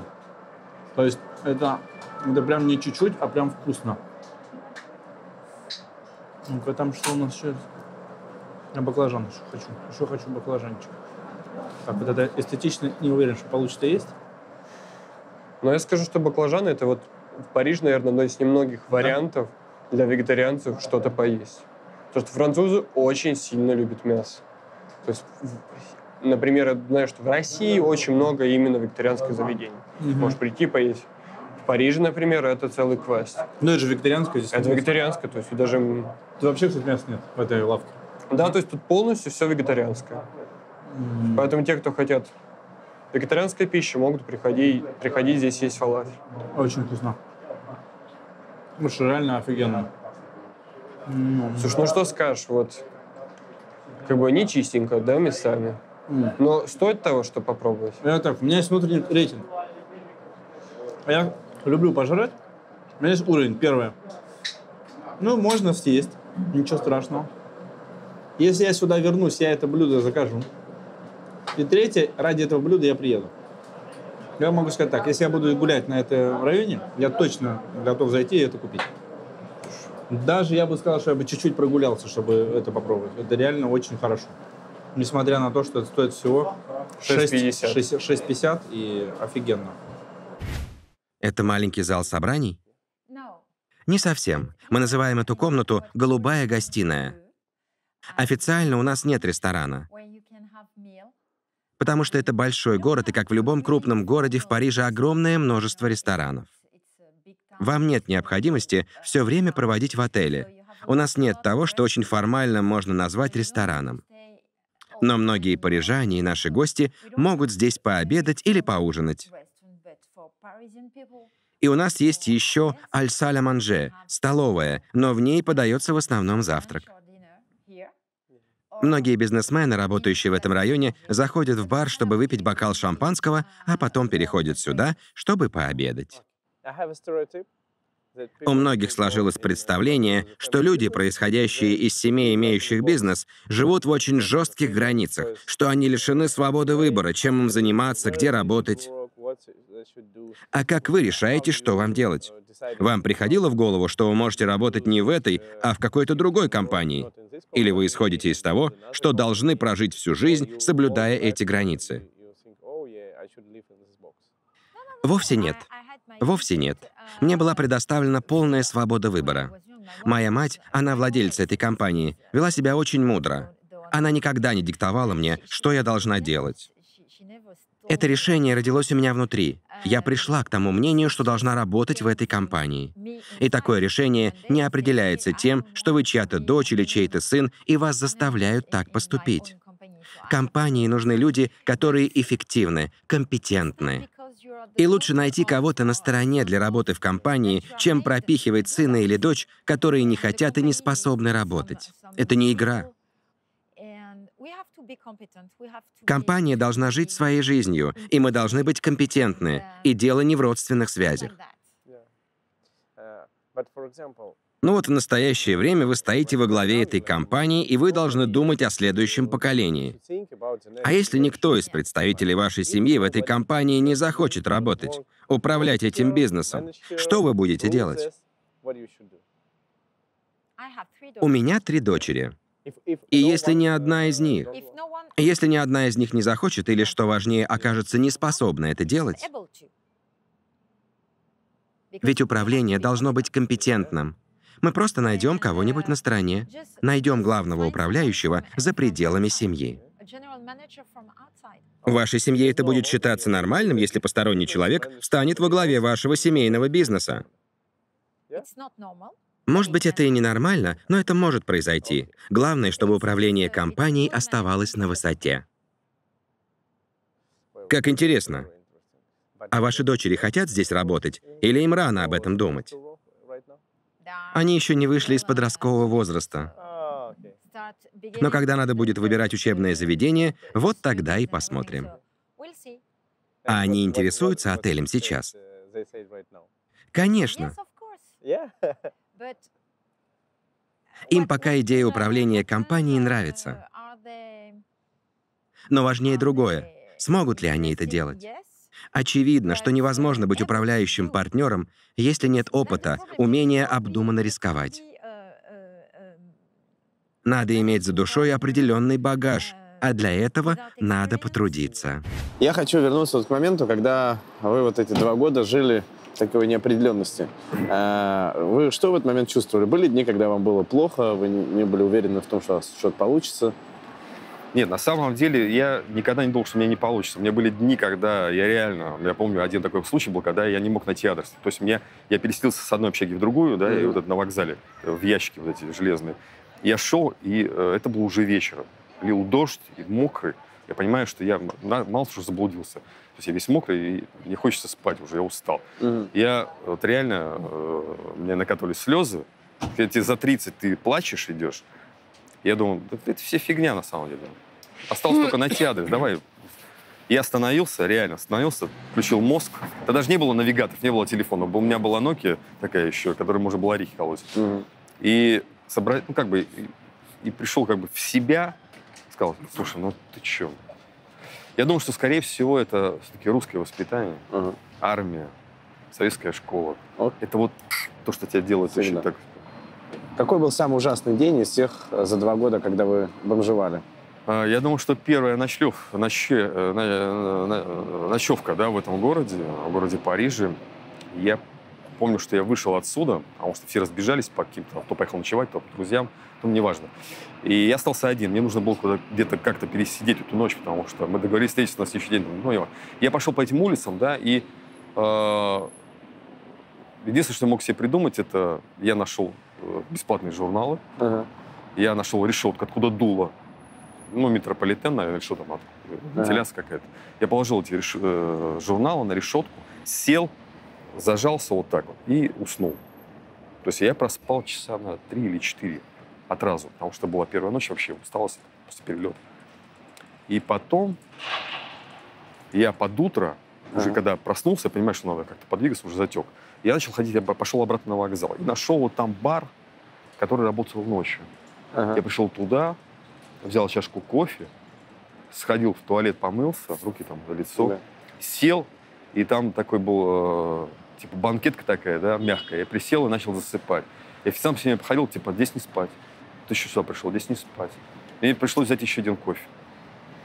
Ну, как-то вот так. Это вот такое было. То есть ты не, у тебя нет языка, ты не понимаешь, что происходит. Ты, тебя ты штукают, да, тебя э, табуськают, а, блин, а ты как-то вот еще не в материале.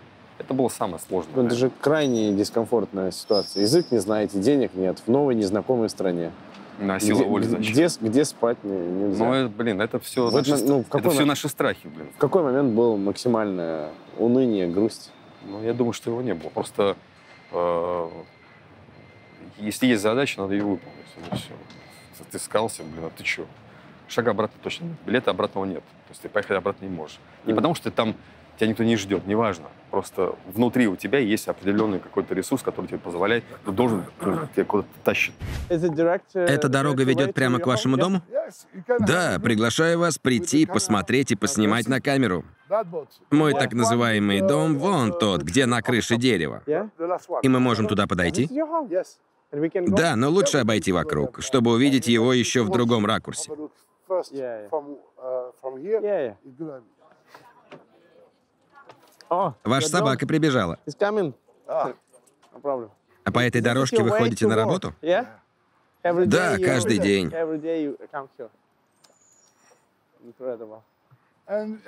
А вы где живете? Uh, Я недавно сменил страну, переехал и теперь живу в Дубае. Вы были в Дубае? Был. А вы не планируете открыть свой ресторан в Дубае? Хм, хотел бы, но уж очень Дубай далеко.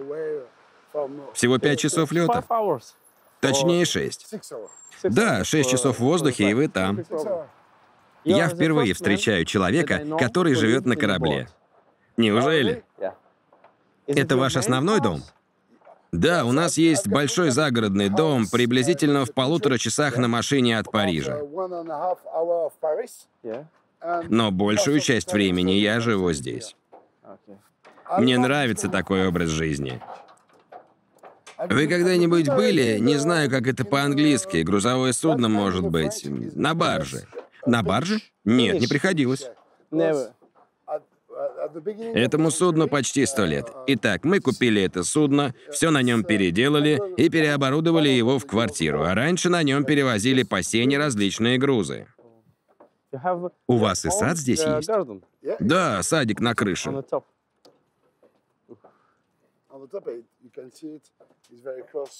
Там направо тоже day живу. you- you- you- you go here. Это не сон, а явь, не мечта, а ваша обыденность. Надо же, изо дня в день. Поразительно.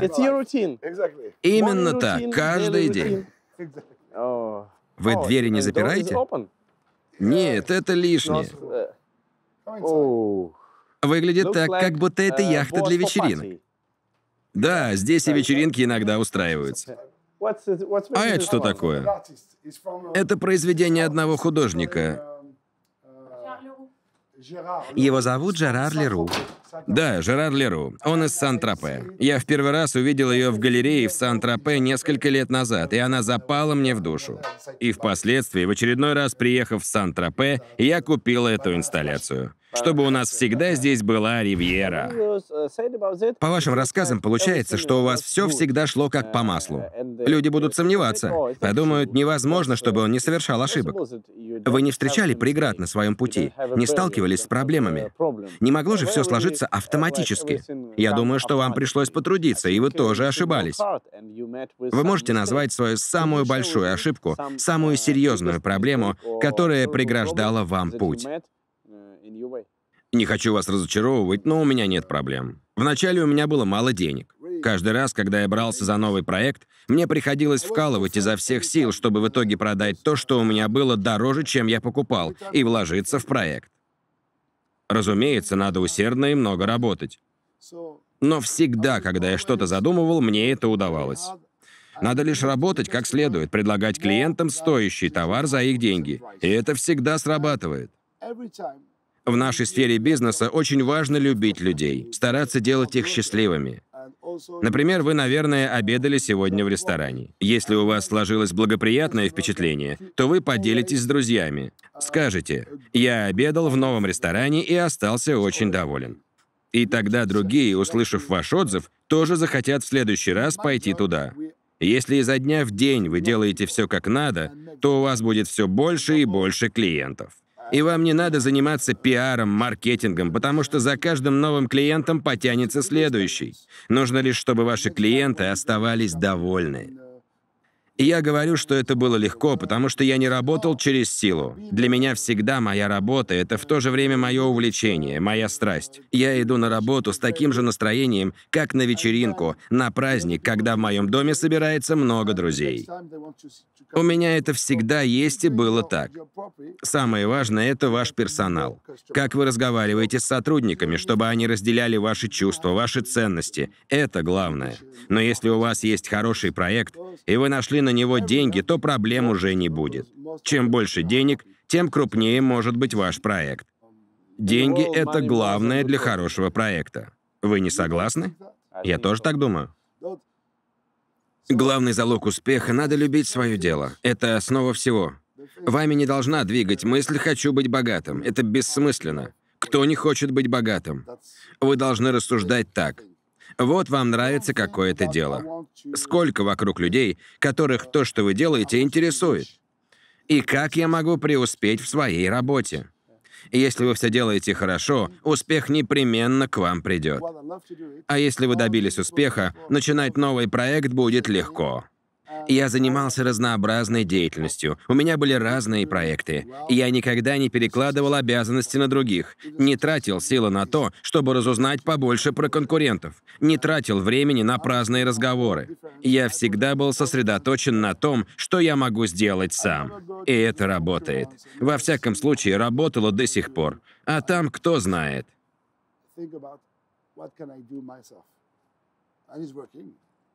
For the moment, Это хорошая формула успеха. Думайте не о конкурентах, а о клиентах.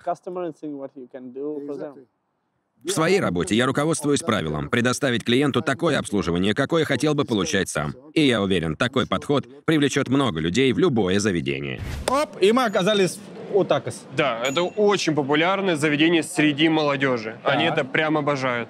Это первое заведение в этой сети, да? Нет. Нет? Нет, не первое. Первое было не в Париже очень давно, в таком маленьком-маленьком городе, потому что ну, в Париже открыть первое свое заведение, это очень много средств надо. А. Но здесь они уже там открылись по франшизам. Все, понятно. То есть вплоть до того, что они дошли до Бруклина. Это достаточно такая большая сеть, но они взяли своим именно вот таким форматом конструктора. То есть давай я Так, тебе покажу. идея? Рассказывай. Да, смотри, то есть, что здесь у нас? Первое, ты выбираешь свой размер. М, L, XL. Не, ну мой размер, конечно, XL, но, но сегодня возьму поменьше. Что значит размеры? В М можно од- один тип мяса попробовать. Ага. В L можно два типа мяса, Ага, а в XL аж целых три типа мяса. ага, Дальше, каки- какое у нас здесь есть мясо? Курица, ага. курица в маринаде, фарш, пикантные сосиски, наггетсы, кардамблю, ну, тендерсы и, если хочется, можно еще и фалафель Что такое добавить. тендерсы? Тендерсы — это как э, куриное филе в панировке А, хрустящее. Как, э, как KFC-шечка такая. Да, но тут как бы за kfc плюс 1 евро А, нужно вот понятно. доложить. Дальше ты выбираешь соус, Ага. то есть там алжирский, барбекю, бургер, то есть хочешь Понятно. очень острый, хочешь не острый. И за доп. оплату можешь себе добавить еще какой-то сыр А. или еще какую-то приколюху. А прихалюка это что там, например, Ну, бывает? например, смотри, а, вот такие, я бы сказал, халапеньо чизнаггетс. Или можно добавить бекон, или шампиньоны. То есть Окей. что-то такое, что украсит вкус. И это все идет уже с картошкой фри и с сырным соусом внутри. Ого. Что бы тебя могло бы удивить? Ты пробовал хоть раз кардамблю? А что это такое? Слушай, кардамблю это такое как бы фран- французское изобретение. Это выходит ветчина, Ага. в середине нее находится сыр. Ага. Это все обернуто в курицу и в панировке. О, звучит вкусно. Давай такое попробуем. Все, тогда мы берем М, я думаю, Эм? С кардамблю. Я бы тебе посоветовал козий сыр. Все-таки мы во Франции, Всё? шевр. Все, берем Это козий козий сыр. сыр. Отлично. Ну что, Паш, вот твой обещанный... Такос. Такос. Не это- просто такос, о, такос. О, такос. Но это похоже на шаурму другой формы. Похоже на шаурму, но это французский о такос, похожий на шаурму. А есть вот так руками надо? Просто берешь Вот так вот, да? и кусаешь. О. Слушай, ну это очень тяжелое. Тут грамм 300, наверное, да, Я думаю, это вот- 350. Маленький размер. Это маленький? Это маленький размер. Ну, за ваше здоровье. Еще один эксперимент.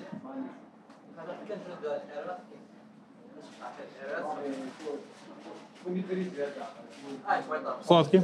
Сладкий. Ну, там кетчупа мы не навалили, конечно. Да. А, и картофанчик там, да, Там фреш? картошка, все, она по дефолту идет с сырным соусом. М-м-м. Слушай, ну это реально вкусно. То ли я голодный, то ли здесь вот даже уличная еда, она вот это не очередное дерьмо. Слушай, Это- ну, я думаю, что по спанине фалафеля, ну да, уже тут уже и дегустация идет. Да, то есть на- это с раклетиком, с картошечкой, с сырным соусом, с мяском. Ты еще козий сыр добавил, Еще козий сыр добавил. Ну, вообще. чтобы больше прочувствовать Францию. Блин, ну это фастфуд, конечно, совершенно другой уровень. Если бы ты мне сказал, что это блюдо из дорогого ресторана, я бы мог поверить. Но мы поднялись повыше. По- А, ну это уже сколько стоит это? Да, это уже где-то в районе 7 с чем-то евро с добавкой. Уже 7 евро, ну согласен, 7 евро это Да, уже, ты вот мы начинали с 4,80, уже почти 8 евро. За 7 евро, конечно, в Москве можно и в кафешечку какой-нибудь сходить. Ну, а ты говорил, что это тоже блюдо как будто из ресторана, поэтому считаю почти, почти кафешечка. Этот номер королевский, да? Мы ожидаем гостей. Э, извините, это кому-то лично написано? Да. И это ведь не на принтере распечатано. Рукописное приветствие. Да. А зачем? Вы же тратите на это рабочее время сотрудников. Конечно, но это ведь персональное приветствие. Так выражается уважение. Вы считаете, это имеет смысл? Я лично написала приветственное письмо и распорядилась, чтобы сотрудники копировали от руки, и гости получали такие приветствия. И это для вас важно. Это самый очевидный способ показать гостям, что мы их ждем. И мы — это не какой-то абстрактный коллектив, а реальные люди, и мы их ждем. А кто именно написал это письмо? Я думаю, что это один из моих ассистентов. Мы стараемся создавать у гостей приятное настроение. Невероятно. И здесь вы видите нашу фирменную особенность. Архитектурное решение номера своеобразное, даже уникальное. Здесь спальня, а здесь гостиная. Такую планировку имеет большинство номеров в нашем отеле. Это очень необычно. Этот сектор весьма просторный, и вся мебель здесь сохранилась со времен открытия отеля. А можно мне зайти посмотреть? Пожалуйста. А это что такое? Я не знаю, как это называется по-английски. Это туалетный столик для женщин. В эти ящички дама может положить косметику и украшения. И здесь есть зеркальце. По-французски мы это называем «пяти бонар дежур».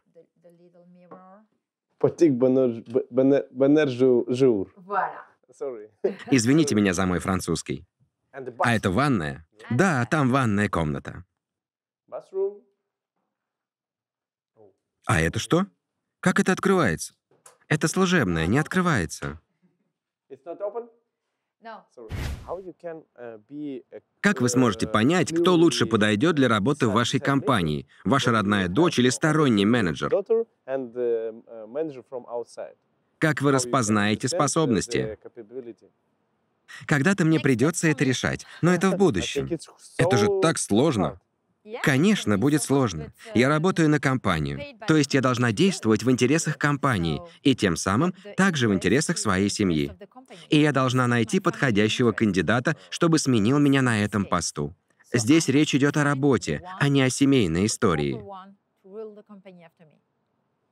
В этой связи я хочу спросить, где пролегает линия разграничения между семьей и бизнесом? Где заканчивается бизнес и начинается семья? Четкой линии нет. Я немножко шизофреник. Во мне уживаются две эти сущности. Еще меня интересует такой вопрос. Предположим, человек хочет основать новый семейный бизнес. Это большой челлендж, большой риск. И по опыту многих своих знакомых я знаю, что ведение супругами семейного бизнеса приводит к кризису в семье. Uh, when they do a business. Это происходит потому, что у них разные подходы к делу, их мнения не совпадают. Как вы преодолеваете эту проблему? С моей мамой? Да, с мамой. Компанией управляет один человек. Всегда. Раньше это была моя мама. Потом она решила отойти от дел. Когда я стала главным управляющим, мы решили, она может высказать свое мнение, а решение остается за мной. Только так и никак иначе. В этом весь секрет. Это как на корабле. Командует капитан. Это звучит хорошо, все правильно. Но это теория. А как обстоят дела на практике? Это нелегко нам далось. Но мы договорились. Приняли решение, и мы ему следуем. У нас получилось. Между вами никогда не бывает конфликтов. Конфликты? Конечно, бывают. Как можно, чтобы мать с дочерью и без конфликтов? Но это не конфликты, это споры. Они не влияют на наши взаимоотношения в семье. Мне кажется, это очень непросто — работать со своей матерью, которая велит «делай так-то и так-то», а у вас другое мнение.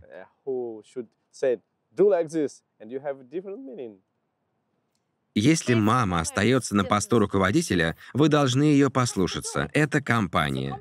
Это не семья, не воскресный семейный обед. Вы освоили, должно быть, это искусство смены личностей. Сейчас я дочка в семье, а сейчас управляющая на работе. Ну хорошо, ладно. Один день э, можно что угодно принять. Но когда уже например, год прошел, Но- вы понимаете, что целый год, и вы по-прежнему бомж или бездомный, э, гуляющий по Парижу, ищущий работу, не имеющий ни, ни дома, ни Но денег, все равно, ничего. же, все равно же есть какие-то свои прелести в этом. А, Ты знакомишься с людьми, ты получаешь какую-то информацию, ты начинаешь как-то обрастать каким-то скарбом, образно говоря, да, там, А. документами, возможностями и все прочее. Ты пытаешься сделать что-то. То есть у тебя есть цель определенная, да, сделать что-то. И ты начинаешь искать возможности ее как бы э, Воплотить. ну, достичь. И поэтому ты начинаешь двигаться. То есть понятно, что если у человека нет цели, тогда понятно. То есть ему тяжело, он не понимает, что делать, куда дальше. А Ага. когда у тебя есть цель, ты идешь к ней. Вот и все. Просто у мужика должны быть яйца, а они должны быть. Ну, а как еще? Окей. И сейчас вы выучили язык. Ну, я не хочу сказать, что я охрененно хорошо говорю, но я умудряюсь делать документальные фильмы на французском языке. Значит, разобрались. Разобрался, да. Да. То есть, У но вас здесь свои проекты, свои бизнесы. А, проекты, да, свои, конечно. Ну, бизнес э, как таковой, это все виртуально. Да. Вот. э, Ну, это дом, это уже больше, большая часть своей жизни, Ага. э, такой ос- осознанной, да, после 17-18 лет, естественно, я прожил здесь. Но как бы это дом, это часть дома. Но снова родина — это родина. Давайте представим человека, который смотрит это видео и тоже какое-то решение хочет принять большое. Может Да. переехать, может другое какое-то решение. Э, Но, может быть, не до конца его принял. Может быть, сомневается. Что вы этому человеку можете порекомендовать, посоветовать? Я хочу сказать, что если нет уверенности в том, что ты делаешь, и нет цели, то двигаться со стула вставать не надо. Ага. А, поехать попытаться и что-то попытаться найти смысла нет. Потому что пройдя вот этот кусок э, жизни, да, прожив там первые пять лет, я четко скажу, я не, не пожелаю даже врагу того, что я прожил. Ага. То есть иммиграция — это такая ситуация, достаточно людей, потому что немногие уезжают в никуда. То есть это надо иметь, наверное. А, цели. Если есть цель, иди. Нет цели, не надо никуда ходить. Сначала разберись сам с собой. Мгм. То есть если, если есть неопределенность, ну, блин, определись так. Потому что без определенности не женится и замуж не выходит. да. Супер, спасибо вам большое, пятерочка. Ура! Окей. Давайте спустимся на нижнюю палубу. Здесь вот такая комната. Yeah.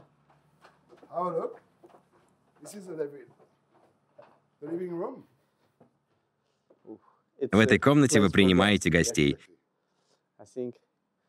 Я даже представляю себе, как здесь собираются приятные люди, вы зажигаете огонь и ведете разговоры у камина. Как прекрасно. Не могу не спросить про деньги. Сколько стоит это удовольствие? Удовольствие всегда стоит денег. Сколько точно я не знаю. Здесь все переделывалось и переоборудовалось постепенно. Трудно подсчитать.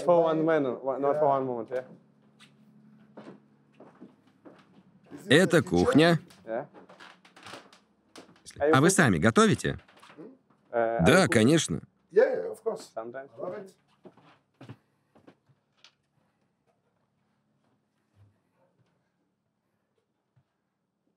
Это спальня. Там ванная.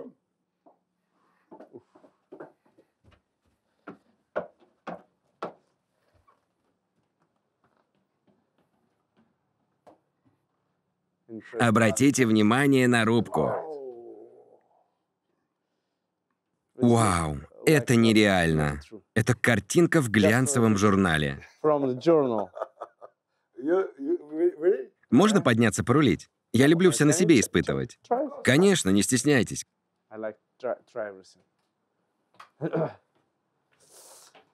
Oh.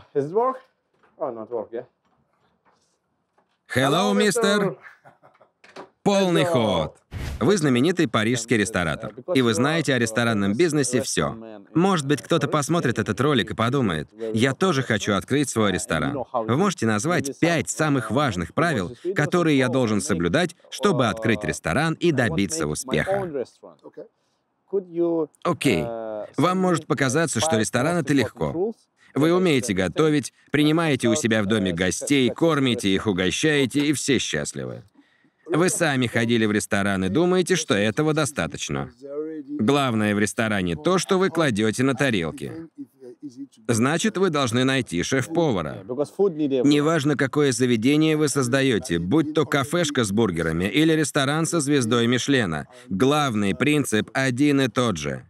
Хорошие продукты, хорошие приготовления и хорошая атмосфера. С другой стороны, продукты могут быть отличного качества, но если вы не умеете их приготовить, блюда выходят слишком сухими или слишком пресными, вы прогорите. Если вы умеете как следует готовить, возьмете прекрасную рыбу, идеально ее поджарите, добавите овощной гарнир, это уже хорошо. Это будет значить, что вы на верном пути. Это составляет 50% вашего успеха. Остальные 50% приходятся на атмосферу заведения. Чтобы создать атмосферу, у вас должно быть продумано абсолютно все. Освещение, музыка, столы и стулья. Это одна сторона. А другая — очень любезное, доброе отношение к клиентам. Люди, которые к вам приходят, должны почувствовать себя желанными гостями, а не просто клиентами. И в этом весь секрет. Когда вы приглашаете гостей в свой дом, действуют те же правила. Вот что я могу порекомендовать. Не знаю, что еще можно сказать. По-моему, этого достаточно.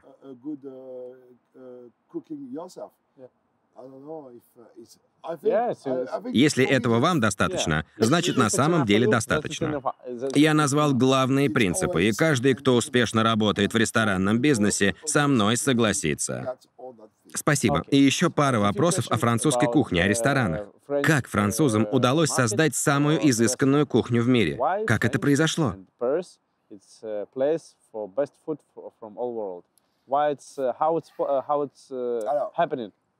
Это хороший вопрос. По моему мнению, ключ к пониманию надо искать в истории Франции. И еще все ценное в этой сфере вошло в красный гид Мишлен. Вы ведь знаете историю Мишлена? Это автомобильная компания, они производили шины. И потом они решили давать советы. Если вы едете из Парижа в какой-то другой город и по пути захотите пообедать, то есть одно отличное местечко. И еще один отель, где вам будет удобно остановиться и они стали присуждать звезды лучшим ресторанам. И сейчас заветная мечта любого, кто только начинает учиться на повара, это удостоиться когда-то в будущем звезды Мишлена. Если вы хотите быть шефом, это вершина, к которой вы стремитесь. И поэтому во французских ресторанах такая хорошая кухня. Там работают люди, которые хотят заработать звезды. То есть, по моему мнению, один фактор — это история, другой — звезды Мишлена. Их стремятся получить шефы и в других странах мира. То есть одна книга, справочник, повлияла на целую отрасль? Получается, что так. Это та же история, что с айфоном. Один парень изменил целый мир. А, ну я знаю, что ты еще кое-что для меня подготовил, да? Ну, тебя ждет что-то очень особенное, которое, Да? конечно, будет отличаться. Что? Лобстер. Фастфудный? Фастфудный. Фастфудный лобстер будет? Да. Вот сколько ты думаешь, это может стоить? Смотрю на операторов голодных. Что это? Лобстерный фастфуд? Да. Где такое видно, чтобы лобстер и фастфуд были вместе? И что то в меню? Давай сразу разберемся. Давай. Что у нас здесь в меню? Например, можно лобстер вот в таком сэндвиче, XL размер. Ага. Ну, вот ты преувеличиваешь. Слушай, а у них готового нет, да? Э, Я сейчас попрошу просто булочку показать, чтобы Да. они вот А ты понимали. не хочешь сам скушать? Может, ты скушаешь? Давай, давай, за- попробуем. Закажи тогда. Один, Excusez-moi, est-ce qu'on peut avoir un lobster roll XL Oui, bien sûr. Hein, s'il vous plaît. Все, сейчас я попросил нам сделать, мы сможем понять, что за размер, и я поделюсь, что по вкусу. То есть это, я так понял, как хот-дог, только с хот-дог. лобстером. Да, и с очень клевой булки, то есть мягкой, не художный, хороший. В общем, это такая сборная э, булка, Да. как Subway, но только с фокусом на лобстера. Да, Тебе дорого, идут красиво. нарезы, чуть-чуть. Так, и какие здесь цены? Расскажи. Ну вот если брать такой, как бы, самый большой XL размер лобстера, это 25 евро За хот-дог 25 евро с лобстером. с лобстером. Да. Немаловажно. Это ты сейчас себе взерешь, да? Сейчас беру. Ну, ты серьезный человек, я понимаю. Можешь себе позволить. Ну давай, давай ты попробуешь. Ну, а, а можно отрезать? Есть? Est-ce qu'on peut couper en deux Можно, конечно, отрезать. Только м, меньшую часть мне можно, чтобы не... Ah, Mais le deuxième morceau plus petit. Mais celui-là beaucoup mangé aujourd'hui déjà. Just for test, yeah. За твое здоровье. Ух, какая булочка мяг- мягкая. Так, ну давайте проверим, давайте. Раз фудпорн, посмотрим, внутри реально это прям куски. Я думал, что это фарш. Ой, сейчас пойдет. Упадет, упадет. А это прям куски лобстера. Ну, за полторы-две тысячи рублей, еще раз. За полторы-две тысячи рублей можно и попробовать. Это самый дорогой фастфуд, фастфуд, который я ел в своей жизни. Ну давай пробовать уже. Слушай, это прям настолько вкусно, что если я буду в следующий раз во Франции, в Париже, я точно сюда приду. Вот Сто процентов. Очень вкусно. Слушай, ну народу здесь нет. То есть дороговато все-таки для французов, да, здесь? Ну для француза, для фастфуда, то есть дороговато, но клиенты бывают. То есть я видел, то есть как бы тут днем побольше людей будет. Сейчас уже, я думаю, уже поздно, все уже поели. А давай спросим, сколько у него клиентов в день? J'ai une question. Combien de clients vous avez par jour, à peu près Ça varie beaucoup, mais en moyenne, euh, je sais pas, je dirais 150, 200. 150 Он говорит 150 клиентов в день. 50 клиентов в день? 150. 150? Да, 150. Это как бы вот так, но в Да, среднем уже 150 клиентов в день.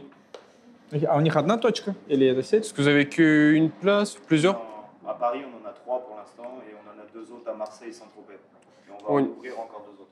У них Марсель, Сан-Тропе и три в Париже. А, и все, да? Такой Да. супер вип. Супер вип. И еще в Лиле, на севере Франции. Есть, ребята, распространяется. Значит, концепт заходит людям. Классно, супер. Ну что, это было уникальное путешествие по парижскому стритфуду. Спасибо тебе. Да, опять. Пятерочка. Смотрите, ка- какие интересные детали, да? Вот они, конечно, молодцы, французы, заморачиваются. Смотрите, стоит коробочка, открываешь, а тут, пожалуйста, USB-порты, э, разные розетки для всех стран мира. А? Красота. Я даже не заметил, тут есть отдельный камин. Он действующий или это декорация?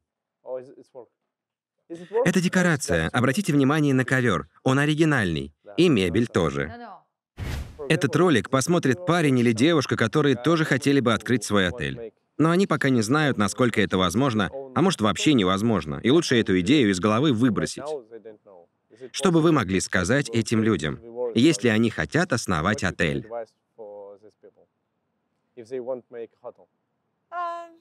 Во-первых, удачи.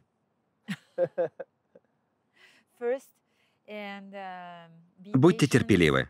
Люди часто продают компании, говоря себе, с этой не вышло, другую куплю. Это не игра. Это настоящая индустрия. Здесь идут определенные процессы.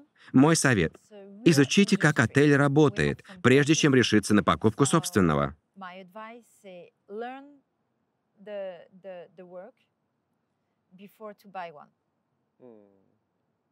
Да, я думаю, что это самое важное. Окей. И последний вопрос. Наверное, он самый трудный, потому что он скорее философский. Предположим, ваш отель проживет сотни лет, а мы снимаем видео на YouTube. И это значит, что видео сохранится на 500 лет и больше. И этот ролик нас обоих переживет. Предположим, вам предоставилась возможность посмотреть видео с прадедушкой или прабабушкой. Я думаю, вы бы не отказались. Я думаю, вы бы не отказались. Но такой возможности у нас нет, потому что 500 лет назад YouTube не было. А вы и я, мы принадлежим к поколению первопроходцев на пути цифрового видео. И ваши потомки, прапраправнуки или праправнучки когда-нибудь зададутся вопросом, а кто жил до нас? И они обратятся к YouTube. Давайте представим себе, что через 500 лет они найдут и посмотрят это видео. И у вас есть одна минута, чтобы передать послание вашим потомкам, которые будут жить через 500 лет. Что бы вы хотели им сказать? О компании или о жизни? О чем угодно. Передайте воображаемое сообщение своим потомкам. Честно говоря, я бы им сказала, радуйтесь жизни, будьте серьезны, делайте, что вы должны. Не теряйте время и наслаждайтесь жизнью. Спасибо. Дайте пять. Предположим, этот ролик посмотрит парень, который хочет добиться успеха, разбогатеть, но пока этот парень, не обязательно парень, может быть и девушка, находится в начале пути и не знает, что надо делать. У них есть желание что-то предпринимать, но нет понимания, как за это взяться. И они сидят в недоумении, с чего им начинать. Какой совет вы можете им дать? Как им приступить к исполнению мечты? Каким должен быть их первый шаг? Я считаю, им прежде всего нужно набраться личного опыта. Надо выйти из своей зоны комфорта, куда-то переехать, где больше шансов заработка, что-то переделать у себя в доме, может быть, потом его продать. Начать действовать. Самое важное, нужно для начала заработать денег, а для этого есть множество возможностей. Главное, чтобы у вас сложилась идея проекта. Я вижу вокруг массу возможностей. Главное, какую-то из них не упустить. Надо начать с вопроса, спросить самого себя, чего мне не хватает, чтобы мое существование было лучше, комфортнее, или чего бы мне хотелось. Если вы решили, что вам нужно, вы потом спрашиваете себя, а многие ли другие люди в этом нуждаются? Прикиньте, что может сделать жизнь лучше, и тогда подумайте, как создать то нужное, что вы сможете продать людям. А когда вы со своей идеей определились, обратитесь к специалистам, к профессионалам выбранного вами направления. И вы должны придумать то, что будет отличать вас от других, выделит из группы таких же, как вы. Обычно это легко. Легко найти хорошую идею, посмотреть, что творится вокруг, чем заняты другие. В наше время, когда в мире царят новые технологии, это стало очень просто. Сейчас нетворкинг, коммуникации стали очень доступны. Вы же в этой сфере работаете, сами знаете. Да, а когда у вас есть хорошая идея, подумайте, как она реализуется в мире. Нам теперь надо думать в мировом масштабе. Идеям сейчас рождаться легко, легче, чем в прошлом. Подводя итог, мы можем сформулировать ваши советы так. Первый шаг — определиться, чего хотят люди. И после этого все станет ясно. Еще один очень важный вопрос.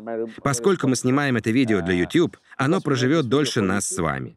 Мы с вами не можем посмотреть видео с нашими прапрапрадедушками или бабушками. Если бы это было возможно, мы, наверное, это сделали бы. Но мы с вами — представители первого поколения, которому стали доступны цифровые технологии создания видео. И я думаю, что ваши потомки, прапраправнуки, смогут посмотреть наши видео через 500 лет.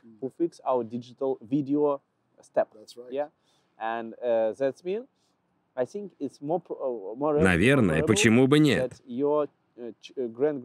Думаю, они это сделают. А теперь представим себе, они смотрят этот ролик. Им интересно, а кто жил здесь до нас? Каким был наш прапрапрадед? И просматривая это видео, они дойдут до этого момента. Предположим, у вас есть минута или пара минут передать им самое важное, оставить для них послание — что вы скажете своим потомкам, основываясь на опыте всей своей жизни? Смотрите, пожалуйста, в ту камеру. Всегда помните, человек может быть богатым или бедным, он все равно может чувствовать себя счастливым. Надо всегда настраиваться на ощущение счастья. Можно быть счастливым просто так, не имея большой машины, больших денег.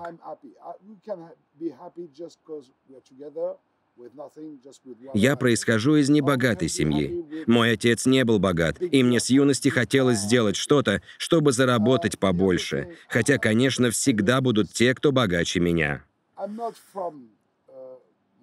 father Мой отец не был богат, и мне с юности хотелось сделать что-то, чтобы заработать побольше, хотя, конечно, всегда будут те, кто богаче меня. Мне хотелось построить более благополучную жизнь. А сейчас много возможностей, чтобы быть счастливым. И я желаю следующим поколениям в этом новом мире, который будет и дальше развиваться, меняться, находить в жизни возможности для радости, для счастья. И я надеюсь, что вы, наши потомки, люди будущих поколений, будете счастливы. Спасибо, что уделили нам ваше время.